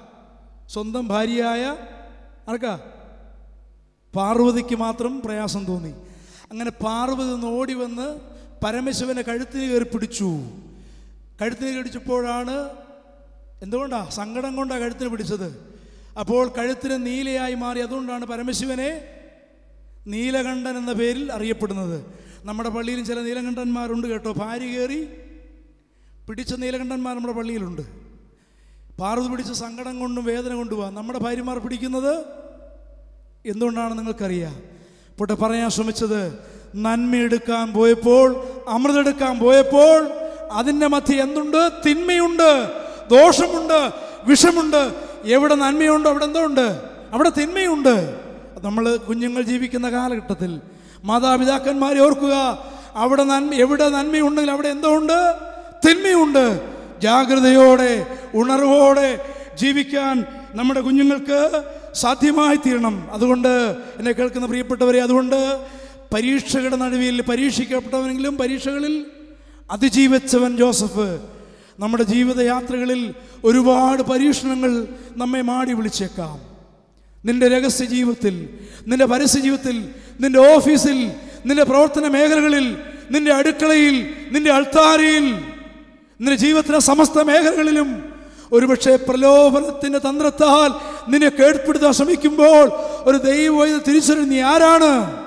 നിനക്കൊരു അഭിഷേകമുണ്ട് you are not an ordinary you are ordained നീ സാധാരണപ്പെട്ട ജനമല്ല? പിന്നെ ആരാ? ആരാ? അസാധാരണമായ ശക്തിയുള്ള അസാധാരണ നിയോഗം പ്രാപിച്ച അസാധാരണ വിളിയുള്ള ദൈവത്തിന് പതിലെ പൈതലാണെന്ന് നീ തിരിച്ചറിയണം. അതുകൊണ്ട് ലോകം നിന്നെ പ്രലോഭിപ്പിക്കുമ്പോൾ ലോകത്തെ ലഹരിയിൽ നിന്നെ മാടി വിളിക്കുമ്പോൾ ഒരു ദൈവം തിരിച്ചറിയണം. നീ വീണു പോകരുത് നിന്റെ ശിരസിൽ ഒരു അഭിഷേകമുണ്ട്. പ്രൈസ് ദി ലോർഡ് നിന്റെ കഴുത്തിൽ ഒരു അഭിഷേകമുണ്ട്. നിന്റെ കരകളിൽ ഒരു അഭിഷേകമുണ്ട്. നിന്റെ കാലുകളിൽ അഭിഷേകമുണ്ട്. നിന്റെ നെഞ്ചിൽ അഭിഷേകമുണ്ട്. ഓർക്കുക മൂന്നാം മാസത്തിലോ ആറാം മാസത്തിലോ വിശുദ്ധ മാതു വിശുദ്ധ മാമൂസയ്ക്ക് നിന്നെ കൊണ്ടുവന്നപ്പോൾ ഒരു ദൈവ പൈതലായി ദൈവ മകളായി ദൈവമകനായി നിന്റെ നെറ്റിയിൽ നിന്നെ നെറ്റിയിൽ പട്ടക്കാരൻ റൂഷ്മ വരച്ചു. നിന്റെ രണ്ട് കരങ്ങളിലും റൂഷ്മ വരച്ചു. നിന്റെ നെഞ്ചിൽ റൂഷ്മ വരച്ചു. നിന്റെ പാദങ്ങളിൽ റൂഷ്മ വരച്ചു. ഒരു ദൈവ ഇതിലാക്കിയെങ്കിൽ ഓർക്കുക നിനക്കൊരു അഭിഷേകമുണ്ട് നിനക്കൊരു നിയോഗമുണ്ട് നിനക്കൊരു വിളിയുണ്ട് നിനക്കൊരു വേർപാടുണ്ട്. അതുകൊണ്ട് ലോകത്തിന്റെ വഴികളിൽ നീ തകർന്നു പോകാനായിട്ടല്ല പരീക്ഷകളിൽ അതിജീവിക്കുവാനായിട്ട് ഒരു ദൈവത്തിന്റെ ജീവിതത്തിൽ സാധ്യമായി തീരണം വിശുദ്ധനായ പോലും പൗലോസ്ലിക ഗലാത്തിലേഖനം അഞ്ചിന്റെ പതിനാറ് വായിക്കുന്നു. ആത്മാവിനെ അനുസരിച്ച് നടപ്പിൽ ജഡത്തിന്റെ മോഹങ്ങൾ നിവർത്തിക്കയില്ല. പൗലോസ്ലിക ഗലാത്തിയിലെ വിശ്വാസികളോട് പറയുകയാണ് ആത്മാവിനെ അനുസരിച്ച് നടപ്പീൻ ജഡത്തിന്റെ മോഹങ്ങളെ നിവർത്തിക്കയില്ല. വീണ്ടും വായിക്കുന്നു രണ്ട് തിമത്തിയോസ് രണ്ടിന് ഇരുപത്തിരണ്ട് യൗവന മോഹങ്ങളെ വിട്ട് ഓടുക. പൗലോസ്ലീഹ റോമർക്കെ ലേഖനം പന്ത്രണ്ടാം അധ്യായത്തിൽ പറയുന്നു ഈ ലോകത്തിന് അനുരൂപമാകാതെ ഈ ലോകത്തിന്റെ കറകൾ മാലിന്യങ്ങൾ ഏറ്റുവാങ്ങാതെ ജീവിക്കാൻ ഒരു ദൈവത്തിന് സാധ്യമായി തീരണം ലോകത്ത് ജീവിക്കുമ്പോൾ പരീക്ഷണങ്ങളേറെയാണ് ലോകത്ത് ജീവിക്കുമ്പോൾ പ്രലോഭനങ്ങളേറെയാണ് ഒരു ദൈവ ഇതൽ പരീക്ഷകളിൽ അതിജീവിക്കാൻ സാധിക്കും. അതുകൊണ്ട് ക്രിസ്തുവിനെ പോലെ ഒരാളായി തീരണമെങ്കിൽ ഫലദായകമായ വൃക്ഷമായി തീരണമെങ്കിൽ പരീക്ഷിക്കപ്പെടുന്നെങ്കിലും പരീക്ഷകളെ അതിജീവിക്കാൻ ഒരു ദൈവത്തിന് സാധ്യമായി തീരണത്തോട്ട് ഞാൻ പോട്ടെ മൂന്ന്. പരീക്ഷകളിൽ അതിജീവിക്കണമെങ്കിൽ ആര് കൂടുണ്ടാകണം? ദൈവം കൂടുണ്ടാകണം. മുപ്പത്തി ഒൻപതിന്റെ രണ്ടാമത്തെ വാക്യം ഒന്ന് വായിച്ച്. മുപ്പത്തി ഒൻപത് രണ്ട്. മുപ്പത്തി ഒൻപതിന്റെ രണ്ട്. യഹോവ ജോസഫിനോട് കൂടെ ഉണ്ടായിരുന്നു. എന്നെ കേൾക്കുന്ന ദൈവജനമേ പ്രലോഭനങ്ങളെ അതിജീവിക്കണമെങ്കിൽ പരീക്ഷകൾ അതിജീവിക്കാൻ ആര് കൂടെ ഉണ്ടാകണം? യഹോവ കൂടെ ഉണ്ടാകണം. തൊട്ട് താഴെ വായിക്കും അതുകൊണ്ട് അവൻ എന്തോ ആയി? എന്തോ ആയി? കൃതാർത്ഥനായി. നമ്മൾ എന്തിനു വേണ്ടിയാണ് ജീവിക്കുന്നത് നമ്മൾ ജീവിക്കുന്നതിന് വേണ്ടിയാ? കൃതാർത്ഥനായി തീരാൻ വേണ്ടിയാണ്. അതുകൊണ്ട് ജീവിതം കൃതാർത്ഥമായി തീരണമെങ്കിൽ ആര് കൂടെ ഉണ്ടാകണം? ദൈവം കൂടെ ഉണ്ടാകണം. നമ്മൾ മുപ്പത്തി ഒൻപതാമത്തെ വാക്യം വായിക്കുമ്പോൾ മുപ്പത്തി ഒൻപതാം തീയതി ആവർത്തിച്ച് ആവർത്തിച്ച് ഓർക്കണം. മുപ്പത്തി ഒൻപത് രണ്ട് മുപ്പത്തി ഒൻപതിന്റെ മൂന്ന് മുപ്പത്തി ഒൻപതിന്റെ ഒൻപത് മുപ്പത്തി ഒൻപതിന്റെ ഇരുപത്തി മൂന്ന് ഇരുപത്തി മൂന്ന് വാക്യങ്ങളിൽ ആവർത്തിച്ച് ആവർത്തിച്ച് പറഞ്ഞു Lord was with him. Yahoo was with Joseph. യഹോവ ആരോട് കൂടെ ഇരുന്നു ജോസഫിനോട് കൂടെ ഇരുന്നു സഹോദരന്മാരുടെ വെറുപ്പിന് പാത്രീഭൂതമായിരുന്നപ്പോൾ ജോസഫിനോടുകൂടെ ദൈവമിരുന്നു. സഹോദരന്മാർ കൊല്ലാൻ ശ്രമിച്ചപ്പോൾ ജോസഫിനോടുകൂടെ ദൈവമിരുന്നു. പൊട്ടകളിൽ തള്ളിയിട്ടപ്പോൾ ജോസഫിനോടുകൂടെ ദൈവമിരുന്നു. ദൈവം അടിമയായി വിറ്റപ്പോൾ ജോസഫിനോട് കൂടെയിരുന്നു. കച്ചവട വസ്തുവായി മാറ്റപ്പെട്ടപ്പോൾ ജോസഫിനോട് കൂടെയിരുന്നു.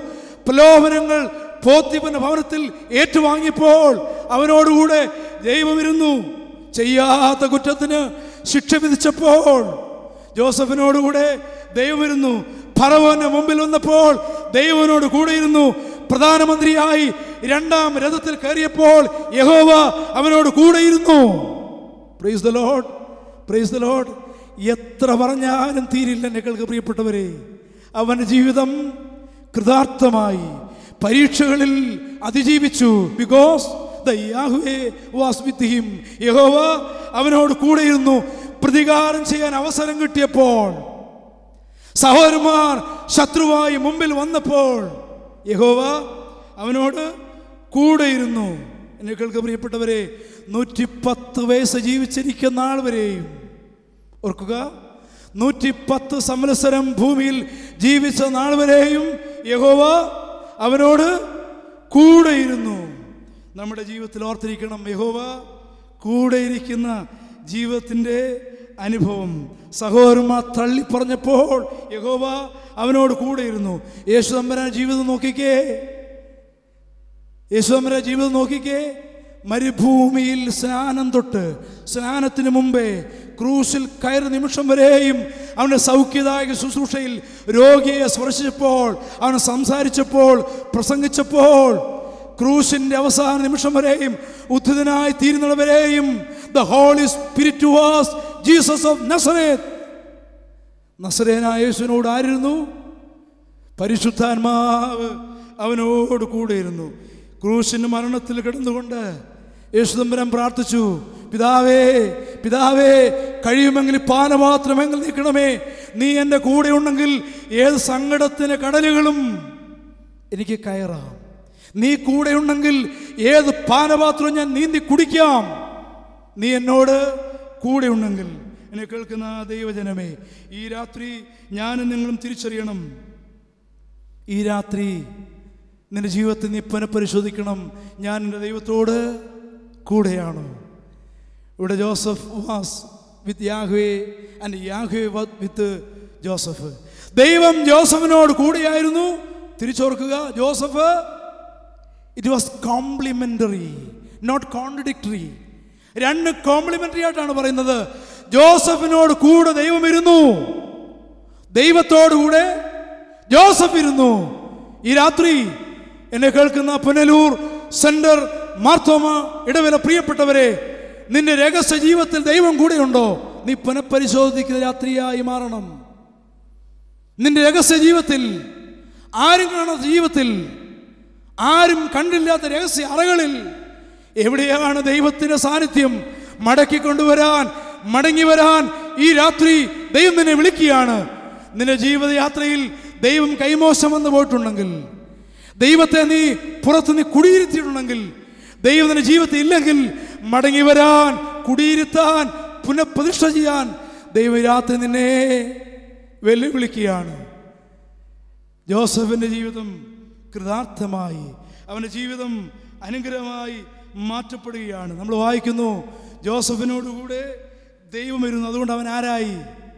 ഇസ്രയേലിന്റെ ഭക്ഷ്യവകുപ്പ് മന്ത്രിയായി ദൈവം അവനെ ഉയർത്തി.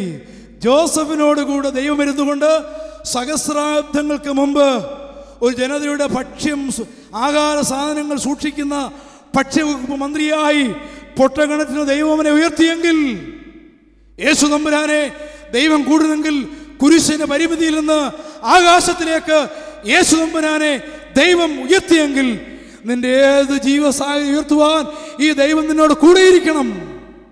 നീ ഓർക്കുക എവിടെയാണ് ദൈവം നിന്റെ ജീവിത സാഹചര്യങ്ങളിൽ?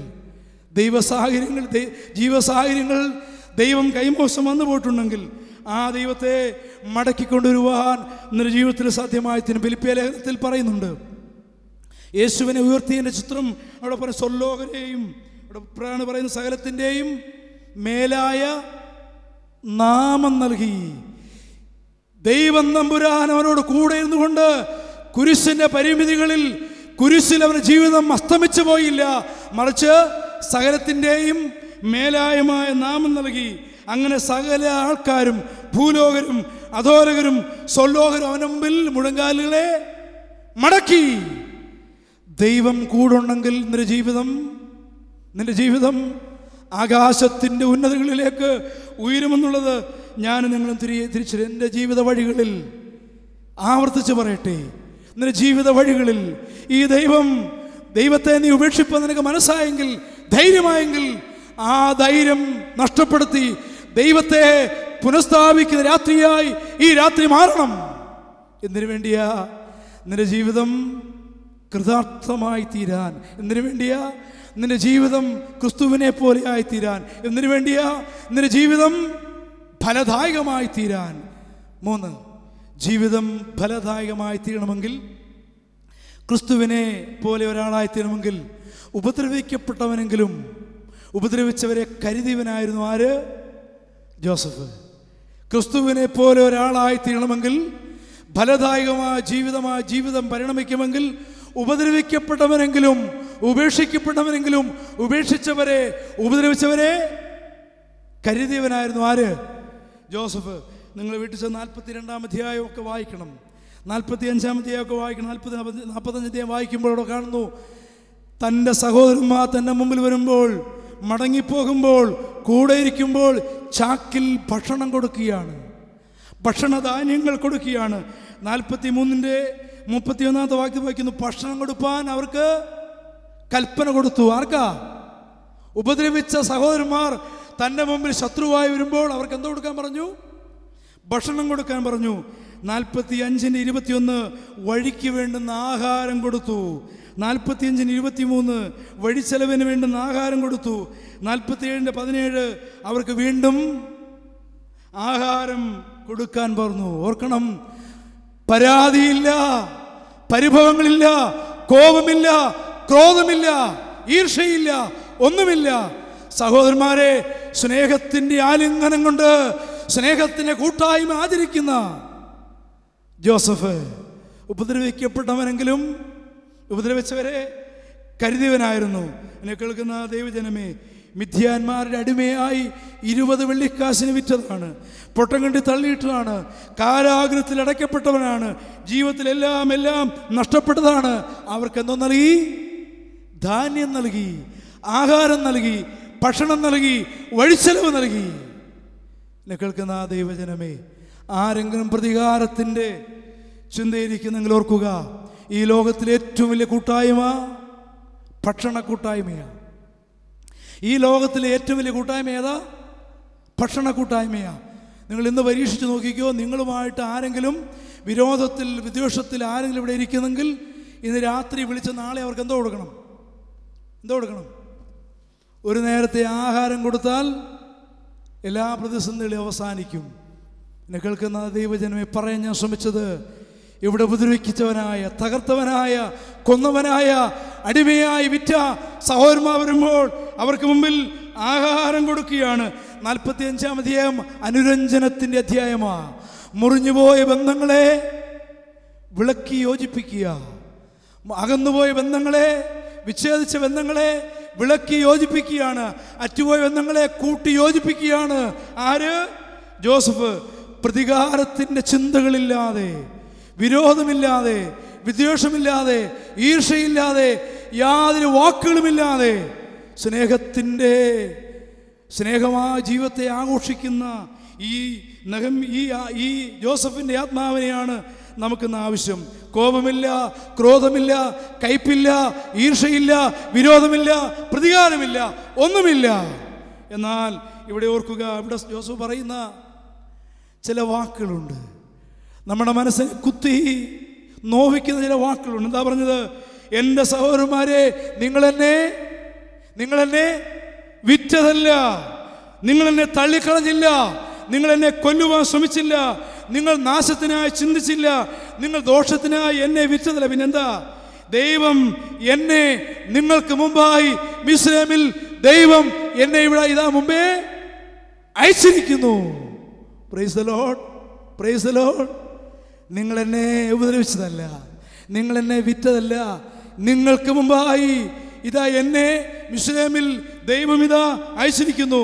നമ്മുടെ ജനം മരുഭൂമിയിൽ നിന്നയ്ക്ക് പാത്രീഭൂതമായിരിക്കാൻ നമ്മുടെ തലമുറ പട്ടിണിയിൽ ക്ഷാമത്തിൽ നശിച്ചു പോകാതിരിക്കുവാനായി പട്ടിണിയിൽ ജീവൻ തകർന്നു പോകാതിരിക്കാൻ നിങ്ങൾക്ക് മുമ്പായി ദൈവം എന്നെ ഇതാ ഇവിടെ അയച്ചിരിക്കുന്നു. എന്നെ കേൾക്കുന്ന ദൈവജനമേ പകയും പ്രതികാരവും കോപവുമില്ലാതെ ക്ഷമയുടെയും വിട്ടുവീഴ്ചയുടെയും പുതിയ അധ്യായങ്ങൾ ജീവിതത്തിൽ മനയപ്പെടുന്ന ജോസഫ് നമ്മെ വെല്ലുവിളിക്കുകയാണ്. യേശുദമ്പരാനെ ഒന്ന് നോക്കിക്കേ. യേശുദമ്പരാനെ ഒന്ന് നോക്കിക്കേ. കാൽവരക്കൂശിൽ ആകാശത്തിനും ഭൂമിക്കും മധ്യേ എല്ലാവരാലും പരിത്യജിക്കപ്പെട്ടവനായി മൂന്നാണുകളിൽ തൂങ്ങിക്കിടക്കുകയാണ്. എല്ലാം അവസാനിച്ചെന്ന് പറയാൻ ഇനി നിമിഷങ്ങൾ മാത്രമേ ബാക്കിയുള്ളൂ. പ്രിയപ്പെട്ടവരാൽ ബന്ധുജനങ്ങളാൽ സഹോദരങ്ങളാൽ ശിഷ്യന്മാരാൽ എല്ലാവരാലും ഉപേക്ഷിക്കപ്പെട്ടവനായി ആകാശത്തിനും ഭൂമിക്കും മധ്യേ മൂന്നാണികളിൽ തൂങ്ങിക്കിടക്കുമ്പോൾ ലോകത്തിന് അപൂർവ വജസ്സുകൾ ഉരുവിടാനായി. യേശുദമ്പരം ഉപയോഗിച്ച് എന്താ? ഒന്നാമത്തെ മൊഴി? ഒന്നാമത്തെ മൊഴി എന്താ? പിതാവേ ഇവർ ചെയ്യുന്നത് ഇന്നെന്നറിയാൽ ഇവരോട് പൊറുക്കേണമേ. ഇവർ ചെയ്യുന്നത് ഇന്നെന്നറിയാൽ ഇവരോട് പൊറുക്കണമേ. കുരിശിലേക്ക് നോക്കും ദൈവജനമേ. ഈ ആരാധനാലയത്തിന് പടി നീ ഇറങ്ങിപ്പോകുമ്പോൾ നിന്റെ ഉള്ളിൽ നിലനിൽക്കുന്ന പ്രതികാര ചിന്ത വെണ്മ പോലെ ഉരുകിത്തീരാൻ സാധിക്കണം. ആരെങ്കിലും പ്രതികാരത്തിന്റെ വഴിയിൽ ഇരിക്കുന്നെങ്കിൽ ഈ പള്ളിയുടെ പടി ഇറങ്ങിപ്പോകുമ്പോൾ മഞ്ഞുരുങ്ങുന്ന പോലെ നിന്റെ പ്രതികാരത്തെ ചിന്ത ഉരുകി മഞ്ഞുരുകുന്ന പോലെ ഉരുകി മടങ്ങിപ്പോകാൻ നിനക്ക് സാധിക്കണം. ദൈവജനമേ യേശുമാൻ പറയുകയാണ് പിതാവേ ആരാ താഴെ നിൽക്കുന്നത്? ക്രൂശിന് ചവിട്ടി നിൽക്കുന്ന ആരാ? കൊന്നവനും ചവിട്ടിയവനും കുത്തിയവനും ക്രൂശ് തറച്ചവനും. നിങ്ങളൊന്ന് സങ്കല്പിച്ച് നോക്കിക്കേ. നിങ്ങളാണ് ക്രൂശി കട സങ്കല്പിച്ചാൽ മതി. ആരും ക്രൂശി കയറണ്ട. സങ്കല്പിച്ചാൽ മതി. നിങ്ങളിപ്പോൾ എവിടെ കിടക്കുന്നേ? നിങ്ങൾ കിടക്കുന്നത് എവിടെ അപ്പം? പേടിയാന്നോ പറയാൻ? നിങ്ങൾ ക്രൂശിലാണ് കിടക്കുന്നത് നിങ്ങളുടെ രണ്ട് കയ്യിലും എന്തോ ഉണ്ട്? എന്തോ ഉണ്ട്? ഏ? ആണിയുണ്ട്. ധൈര്യമായിട്ട് പറഞ്ഞാൽ പിരിവിനൊന്നും വന്നതല്ല. കയ്യിൽ എന്തുകൊണ്ട് പൈസയെ കുറിച്ചല്ലോ കയ്യിൽ ഉണ്ട്? രണ്ട് കയ്യിലും ആണിയുണ്ട്. കാലിൽ ഉണ്ട്? ആണിയുണ്ട്. തലയിൽ എന്തോ ഉണ്ട്? തലയിലൊന്നുമില്ല അതുകൊണ്ട് അവിടെ വന്നിരിക്കുന്നത് തലയിൽ എന്തോ ഉണ്ട്? മുൾക്കിരീടമുണ്ട്. ആകെ യേശുദമ്പുരാൻ ചലിപ്പിക്കാൻ പറ്റുന്നത് ഒറ്റ അവയമേ ഉള്ളൂ. കൈകളിൽ ആണി കാലുകളിൽ ആണി തലയിൽ മുൾക്കിരീടം ചലിപ്പിക്കാൻ കഴിയില്ല. ആകെ ചലിപ്പിക്കാൻ ഒറ്റ അവയമുള്ള ഏതാ? ഏ? നാവ്. ആട്ടെ നിങ്ങൾ എന്തോ ആയിരിക്കും പറയുന്നത്. പറയണ്ട ആരും എഴുതി തന്ന അച്ഛന്റെ എഴുതി കൊടുത്താൽ മതി. ക്രൂശിച്ചവനും കുത്തിയവനും തുപ്പിയവനും എല്ലാം കീഴിൽ നിൽപ്പുണ്ട് ക്രൂശിന് ചുവട്ടിൽ നിൽപ്പുണ്ട്. നിങ്ങൾ പറയാൻ പോകുന്നത് എന്തായിരിക്കും? യേശുദമ്പുരാൻ ലോ മരക്കുരിശ് ശത്രുവിനെ സ്നേഹിക്കാനുള്ള ആലയമാക്കി തീർത്തു. ശത്രുവിനെ പ്രണയം ചെയ്യാൻ നിന്നെ പഠിപ്പിക്കുന്ന പാഠശാലയാ കുരിശ്. കുരിശ് ആഭരണമല്ല. ഈ കുരിശിനെ കാണുമ്പോൾ നിന്റെ പ്രതികാര ചിന്ത തകർന്നു പോകണം. പടിയിറങ്ങി പോകണം പുതിയ മനുഷ്യനായി ഞാൻ ആമുഖവാക്കിൽ പറഞ്ഞാൽ ഇവിടെ മരണം നടക്കണം. പ്രതികാര ചിന്തയുടെ മരണം നടക്കണം. ഈ പള്ളി വിട്ട് ഇറങ്ങിപ്പോകുമ്പോൾ പുതിയ മനുഷ്യനായി ശുദ്ധിയുള്ള ഹൃദയമായി മടങ്ങിപ്പോകാൻ ഒരു ദൈവത്തിന്റെ ജീവിതത്തിൽ സാധ്യമായി തീരണം. ഡെമസ്കോ സംഭവമാണല്ലോ. പൗലോസ്ലിയ അവനെ രൂപാന്തരപ്പെടുത്തിയതായ സംഭവം. യേശു ക്രിസ്തുവിന്റെ ക്രൂശിന്റെ ജീവിതാനുഭവത്തിൽ ചുവടുകളെ പിടിച്ചു നിൽക്കുന്ന മനുഷ്യനാണ് സ്തേഫാനോസ്. ഈ സ്തേഫാനോസ് നമ്മൾ വായിക്കുന്നുണ്ട് ഓരോ കല്ലേറും തന്നെ തെറ്റിയിലേക്ക് വീഴുമ്പോൾ രക്തം ചാലുവെട്ടി ഒഴുകുകയാണ്. അത് കണ്ടിരുന്നൊരു ബാലനുണ്ട്. ആരാ? ആരാ? ഷൗൽ അന്ന് ഷൗലിന്റെ ഹൃദയത്തിൽ വീണ ഒരു തീപ്പരിയാണ് പിന്നീട് ദമസ്കോസിൽ ഒരു വലിയ അഗ്നിയായി ആളിപ്പടർന്നത്.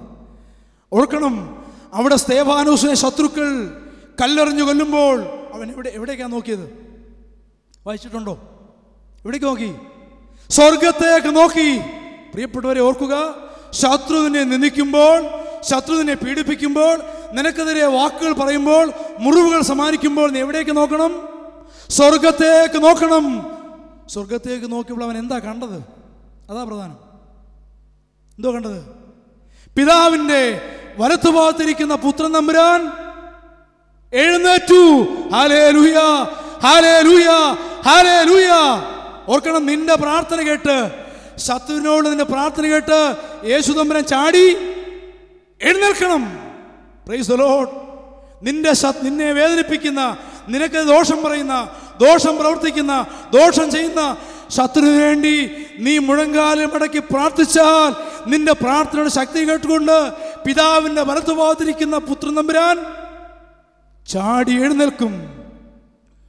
അത്രമാത്രം ശത്രുവേനയുള്ള നിന്റെ പ്രാർത്ഥനയ്ക്ക് ശക്തിയുണ്ടെന്ന് ഞാനും നിങ്ങളും തിരിച്ചറിയേണ്ടതായതുകൊണ്ട് ഈ രാത്രി ക്ഷമയുടെ യാത്രയായി മാറി. എത്രയോ നാളുകളായി ബന്ധങ്ങൾ അറ്റുപോയവർ സഹോദര ബന്ധങ്ങൾ മാതാപിതാക്കളും മക്കളുമായ ബന്ധങ്ങൾ കൂട്ടുവിശ്വാസികൾ ബന്ധങ്ങൾ പുരോ പട്ടക്കാരനും ജന ബന്ധങ്ങൾ അറ്റുപോയിട്ടുണ്ടെങ്കിൽ മടങ്ങി വരാൻ അനുതാപത്തിന്റെ അനുരഞ്ജനത്തിന് രാത്രിയായി ഈ രാത്രി മാറ്റപ്പെടാനിടയായിത്തീരണം. ഇവിടെ ബന്ധനങ്ങൾ അഴിയട്ടെ ബന്ധങ്ങൾ കൂട്ടിമുട്ടട്ടെ ബന്ധങ്ങളുടെ സമ്മേളനങ്ങളായി മാറട്ടെ. ഇവിടെ നാം വായിക്കുന്നു ഉപദ്രവിക്കപ്പെട്ടവനെങ്കിലും ഉപദ്രവിച്ചവരെ കരുതിയവനായിരുന്നു. ഉപദ്രവിച്ചവരെ ഉൾക്കൊണ്ടവനായിരുന്നു. ഉപഹാരങ്ങൾ ചെയ്തവനായിരുന്നു. ആര്? ജോസഫ്.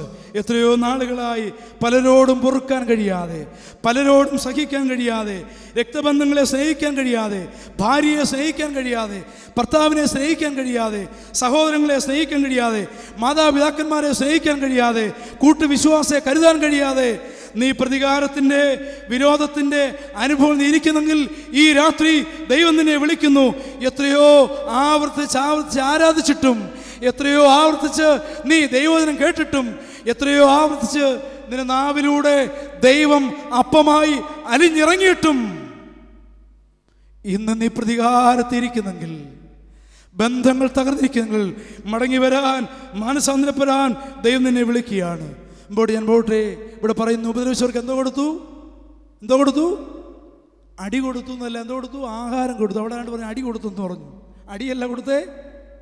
ആഹാരം കൊടുത്തു. മുമ്പോട്ട് ഞാൻ സമയം അവസാനിക്കാറ് അവസാനം വാക്കളെ അവസാനിപ്പിക്കുകയാണ്. ക്രിസ്തുവിനെ പോലെ ഒരാളായി തീരണമെങ്കിൽ ക്രിസ്തുവിനെ പോലെ ഒരാളായി തീരണമെങ്കിൽ ഫലദായകമായ വൃക്ഷമായി തീരണമെങ്കിൽ ഇവിടെ അൻപതിന്റെ ഇരുപത്തിനാലാമത്തെ വാക്യത്തിൽ ഇവിടെ ജോസ് പറയുന്നു ഞാൻ മരിക്കുന്നു. ഓർക്കണം ഞാൻ നിത്യതയെക്കുറിച്ച് കാഴ്ചപ്പാടുള്ള ഒരു മനുഷ്യൻ ആരാ? ആരാ? ജോസഫ്. ജോസഫ് പറയുന്നു ഞാൻ എന്താ മരിക്കുന്നു. നിങ്ങൾ നാൽപ്പത്തി അഞ്ചാം അധ്യായമൊക്കെ വായിക്കുമ്പോൾ അവിടെ അൻപത് നാൽപ്പത്തി ആറ് അധ്യായം വായിക്കുമ്പോൾ അവിടെ സഹോദരന്മാർക്ക് അവിടെ ഗോദേശ് എന്ന് പറയുന്ന മനോഹരമായ പ്രവാസികളായി വന്ന സഹോദരന്മാർക്ക് ഏറ്റവും മെച്ചമായ ദേശം ആര് കൊടുക്കുന്നു? ജോസഫ് കൊടുക്കുന്നു. ഗോമേസ് എന്ന് പറയുന്ന ദേശം കൊടുക്കുന്നു. ഓർക്കണം ഈ ദേശം കൊടുക്കുമ്പോഴും ഈ ലോകം പ്രവാസമാണ് തിരിച്ചറിഞ്ഞ. ജോസഫ് പറയാണ് ഞാനിതാ മരിക്കുന്നു. ഒരു ദൈവവൈദ്യ ജീവിതത്തിൽ ആവർത്തിച്ച് ഓർത്തിരിക്കുന്ന അനുഭവമാണ്. ഞാൻ മരിക്കേണ്ടവനാണ്. എനിക്കൊരു നിത്യതയുണ്ട്.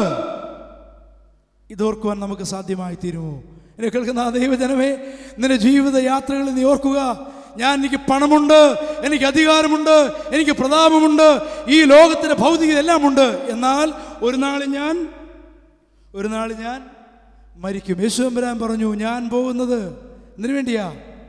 നിങ്ങൾക്ക് ദേശമൊരുക്കാനായിട്ട് പോകുന്നു. ഇവിടെ ജോസഫ് പറയാണ് എന്റെ ദേശത്തേക്ക് ഞാൻ പോകുന്നു ഞാൻ മരിക്കാൻ പോകുന്നു. എല്ലാവർക്കും ഇതുണ്ടെന്നുള്ള ഓർമ്മപ്പെടുത്തൽ ഇവിടെ ഇതാ കൊടുക്കുകയാണ്. അതായത് എനിക്ക് അധികാരമുണ്ട് എനിക്ക് പദവിയുണ്ട് എനിക്ക് ഫറവോന്റെ മുദ്രമോദമുണ്ട് മുദ്രമോദ്രമുണ്ട് ഫറവോന്റെ രണ്ടാം രഥമുണ്ട് ഈ ലോകത്തിന്റെ ഭൗതികകൾ എല്ലാമുണ്ട് എനിക്ക് സൗന്ദര്യമുണ്ട് എനിക്ക് ഈ ലോകത്തിന്റെ എല്ലാ ശ്രേഷ്ഠതകളുമുണ്ട്. എന്നാൽ എനിക്ക് ഒന്നുകൂടി ഉണ്ട് എന്തുണ്ട് എനിക്ക് മരണമുണ്ട്. ഇതോർക്കുന്നവൻ ദിനംതോറും ഓർക്കുന്നവൻ ഭാഗ്യവാൻ. നിത്യതയെക്കുറിച്ചുള്ള നമ്മുടെ കാഴ്ചപ്പാട് എവിടെയാണ്? ഇന്ന് ഞാൻ മരിച്ചാൽ ഞാൻ എവിടെ പോകും? ഈ കാഴ്ചപ്പാട് ഒരു ദൈവ ദൈവ ജീവിതത്തിൽ നിലനിൽക്കുവാനായിട്ടിടയായിത്തീരണം യാക്കോ മക്കളെല്ലാം വിളിച്ചു വരുത്തിട്ട് പറയുകയാണ് ഇവൻ ആരാ? ഫലദായകമായ വൃക്ഷമാണ്. അപ്പോൾ യാക്കോ പറയുകയാണ് ഫലദായകമായ വൃക്ഷമായി ഞാനിതാ മരിക്കാനായിട്ട് പോകുന്നു. ഈ ലോക ജീവിതം നൈമക്ഷ്യമാണ് സഹോദര നിന്റെ ജീവിതത്തെ ക്രമപ്പെടുത്തുന്ന രാത്രിയായി മാനസാന്തരപ്പെടാനുള്ള യാത്ര രാത്രിയായി രാത്രി മാറ്റപ്പെടണം. നീ മരിക്കേണ്ടവനാണ്. നിൽക്കുന്ന ഞാനും ഇരിക്കുന്ന നിങ്ങൾ മരിക്കേണ്ടവനാണ്. നിന്റെ ജീവിതത്തെ അനുതാപത്തിലേക്ക് മാനസാന്തരത്തിലേക്ക് മടങ്ങി വരാൻ ദൈവം നിന്നെ വിളിക്കുന്നു. നിനക്ക് ഈ ലോകത്തിന്റെ പ്രതാപങ്ങളും ലോകത്തിന്റെ പണവും ലോകത്തിന്റെ സ്വാധീനവും ഈ ലോകത്തിന്റെ പ്രൗഢിയും പ്രതാപവും എല്ലാം നിനക്കുണ്ട്. എന്നാൽ ഇവിടെ ജോസഫ് പറയുകയാണ് ഇതെല്ലാം ഉണ്ടെങ്കിലും എനിക്കൊന്നുകൂടിയുണ്ട് അത് മരണമാണ്. ആ മരണത്തിന് വേണ്ടി ഒരുക്കപ്പെടുന്ന ആളുകളായി തീരാൻ സാധിക്കണം. യേശുമ്പരാൻ പറഞ്ഞു ഞാനിതാ പോകുകയാണ്. നിങ്ങൾക്ക് ദേശം യേശുവിന്റെ മരണത്തെക്കുറിച്ച് നിശ്ചയത്തോടുകൂടി യേശു ശിഷ്യന്മാരോട് പറയുകയാണ് ഞാൻ പോകുന്നത് നിങ്ങൾക്ക് പ്രയോജനമാണ്. ഞാൻ പോകുന്നത് നിങ്ങൾക്ക് ദേശം വാസമൊരുക്കുവാൻ പോകുന്നു. എന്നെ കേൾക്കുന്ന ആ ദൈവജനെ വാക്കളെ അവസാനിപ്പിക്കട്ടെ. ക്രിസ്തുവിനെ പോലെ ഒരാളായി തീരണമെങ്കിൽ ഒരു വെല്ലുവിളിയായി ദൈവത്തിന്റെ ആത്മാവ് നിന്നെ വെല്ലുവിളിക്കുകയാണ് ഈ രാത്രി. ക്രിസ്തുവിനെ പോലെ ഒരാളായി തീരണമെങ്കിൽ ഫലദായകമായി ജീവിതം മാറ്റണമെങ്കിൽ വെറുപ്പിന് മധ്യേ നീ വെറുമയാക്കാൻ നിന്റെ ജീവിതത്തിൽ സാധ്യമായി തീരണം രണ്ട് പരീക്ഷിക്കപ്പെടണമെങ്കിലും പരീക്ഷകളിൽ അതിജീവിച്ചവനായിരുന്നു. ആര്? ജോസഫ് യേശുദമ്പുരാൻ ചിലതിനെ ഈ രാത്രി ഉപേക്ഷിപ്പാനായിട്ട് എന്നെ കേൾക്കുന്ന പ്രിയപ്പെട്ടവരെ നിന്റെ കൊച്ചു കൊച്ചു പാവങ്ങളും നിന്റെ ജീവിത പങ്കാളി കാണാത്ത പാവങ്ങളും നിന്റെ മാതാപിതാക്കന്മാർ കാണാത്ത പാപങ്ങളും വിട്ടുകൊണ്ട് മടങ്ങി വരാൻ ഉപേക്ഷിപ്പാൻ ദൈവം നിന്നെ വിളിക്കുകയാണ്. ദൈവരാജ്യ മൂല്യങ്ങളെ മുറുകെ പിടിക്കാനായിട്ട് ഈ ലോകത്തിന്റെ വികാരങ്ങളെയും ലോകത്തെ നിയന്ത്രണങ്ങളെ ഉപേക്ഷിപ്പാൻ നിനക്ക് സാധ്യമായി തീരണം പരീക്ഷണങ്ങളിൽ പരീക്ഷണങ്ങളിൽ അതിജീവിക്കണമെങ്കിൽ ആരുണ്ടാകണം? ദൈവം യഹോവയോടുകൂടെ ജോസഫ് ഉണ്ടായിരുന്നു. ജോസഫിനോടുകൂടെ ദൈവം ഉണ്ടായിരുന്നു. യേശു തമ്പുരാനോടുകൂടെ ആരുണ്ടായിരുന്നു? ദൈവം തമ്പുരാനുണ്ടായിരുന്നു. ഉപദ്രവിക്കപ്പെട്ടവനെങ്കിലും ഉപദ്രവിച്ചവരെ ഉപകരിച്ചവനായിരുന്നു കരുതിവനായിരുന്നു ജോസഫ്. അവസാനം ജോസഫ് പറയുകയാണ് എനിക്കെന്തുണ്ട്? എനിക്ക് മരണമുണ്ട്. ജീവിതയാത്രയിൽ നിത്യതയെ കാക്ഷിച്ചുകൊണ്ട് നിത്യത്തിലേക്ക് നോക്കിക്കൊണ്ട് ജീവിക്കുവാൻ ദൈവം നമ്പുരാൻ നമ്മ എല്ലാവരെയും സഹായിക്കുമാറായിട്ട് നമ്മുടെ കണ്ണുകളെ നമുക്കടയ്ക്കാം ജീവിതത്തിന്റെ കുറവുകളെ തിരിച്ചറിഞ്ഞ് പാപത്തിന്റെ വഴികളെ തിരിച്ചറിഞ്ഞ് ഈ രാത്രി ദൈവം നിന്നെ വെല്ലുവിളിക്കുകയാണ്. മടങ്ങി വരാൻ മടങ്ങി വരാൻ എത്രയോ നാളുകളായി. വെട്ടിക്കളയട്ടെ വെട്ടിക്കളയട്ടെ എന്ന് പറഞ്ഞപ്പോൾ ഫലം കായ്ക്കാൻ വേണ്ടി ഒരു വർഷം കൂടി ദൈവം നൽകുന്നെങ്കിൽ സഹോദര ഈ രാത്രി ദൈവം നിന്നോട് ചോദിക്കുകയാണ് ഫലദായകമായ ജീവിതത്തിന് വേണ്ടി നിന്റെ ജീവിതത്തെ അർപ്പിച്ചു കൊടുക്കുക നിനക്ക് മനസ്സുണ്ടോ? മാനസാന്തരപ്പെടാൻ പാപത്തേറ്റു രാത്രി നിനക്ക് സത്യമായി തീരണം പാപത്തേറ്റു പറഞ്ഞാൽ ഇരിക്കുന്നിടങ്ങളിൽ നിന്നുകൊണ്ട് നിന്റെ കുറവുകളെ നിന്റെ അപരാധങ്ങളെ നിന്റെ അപജയങ്ങളെ നിന്റെ പരാജയങ്ങളെ നിന്റെ പരിമിതികളെ ആരും കാണാത്ത രഹസ്യഭാവങ്ങളെ നീ ഏറ്റുപറഞ്ഞ് അനുതാപത്തിനെ കണ്ണു വീഴ്ത്തിയാട്ടെ. പാപത്തെ സ്നേഹിപ്പാ ഞാനിനി പോകുമോ? പാവത്തെ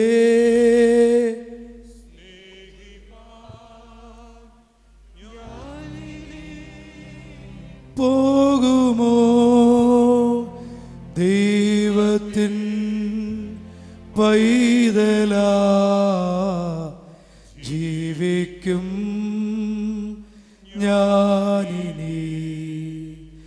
ദൈവത്തി പൈതല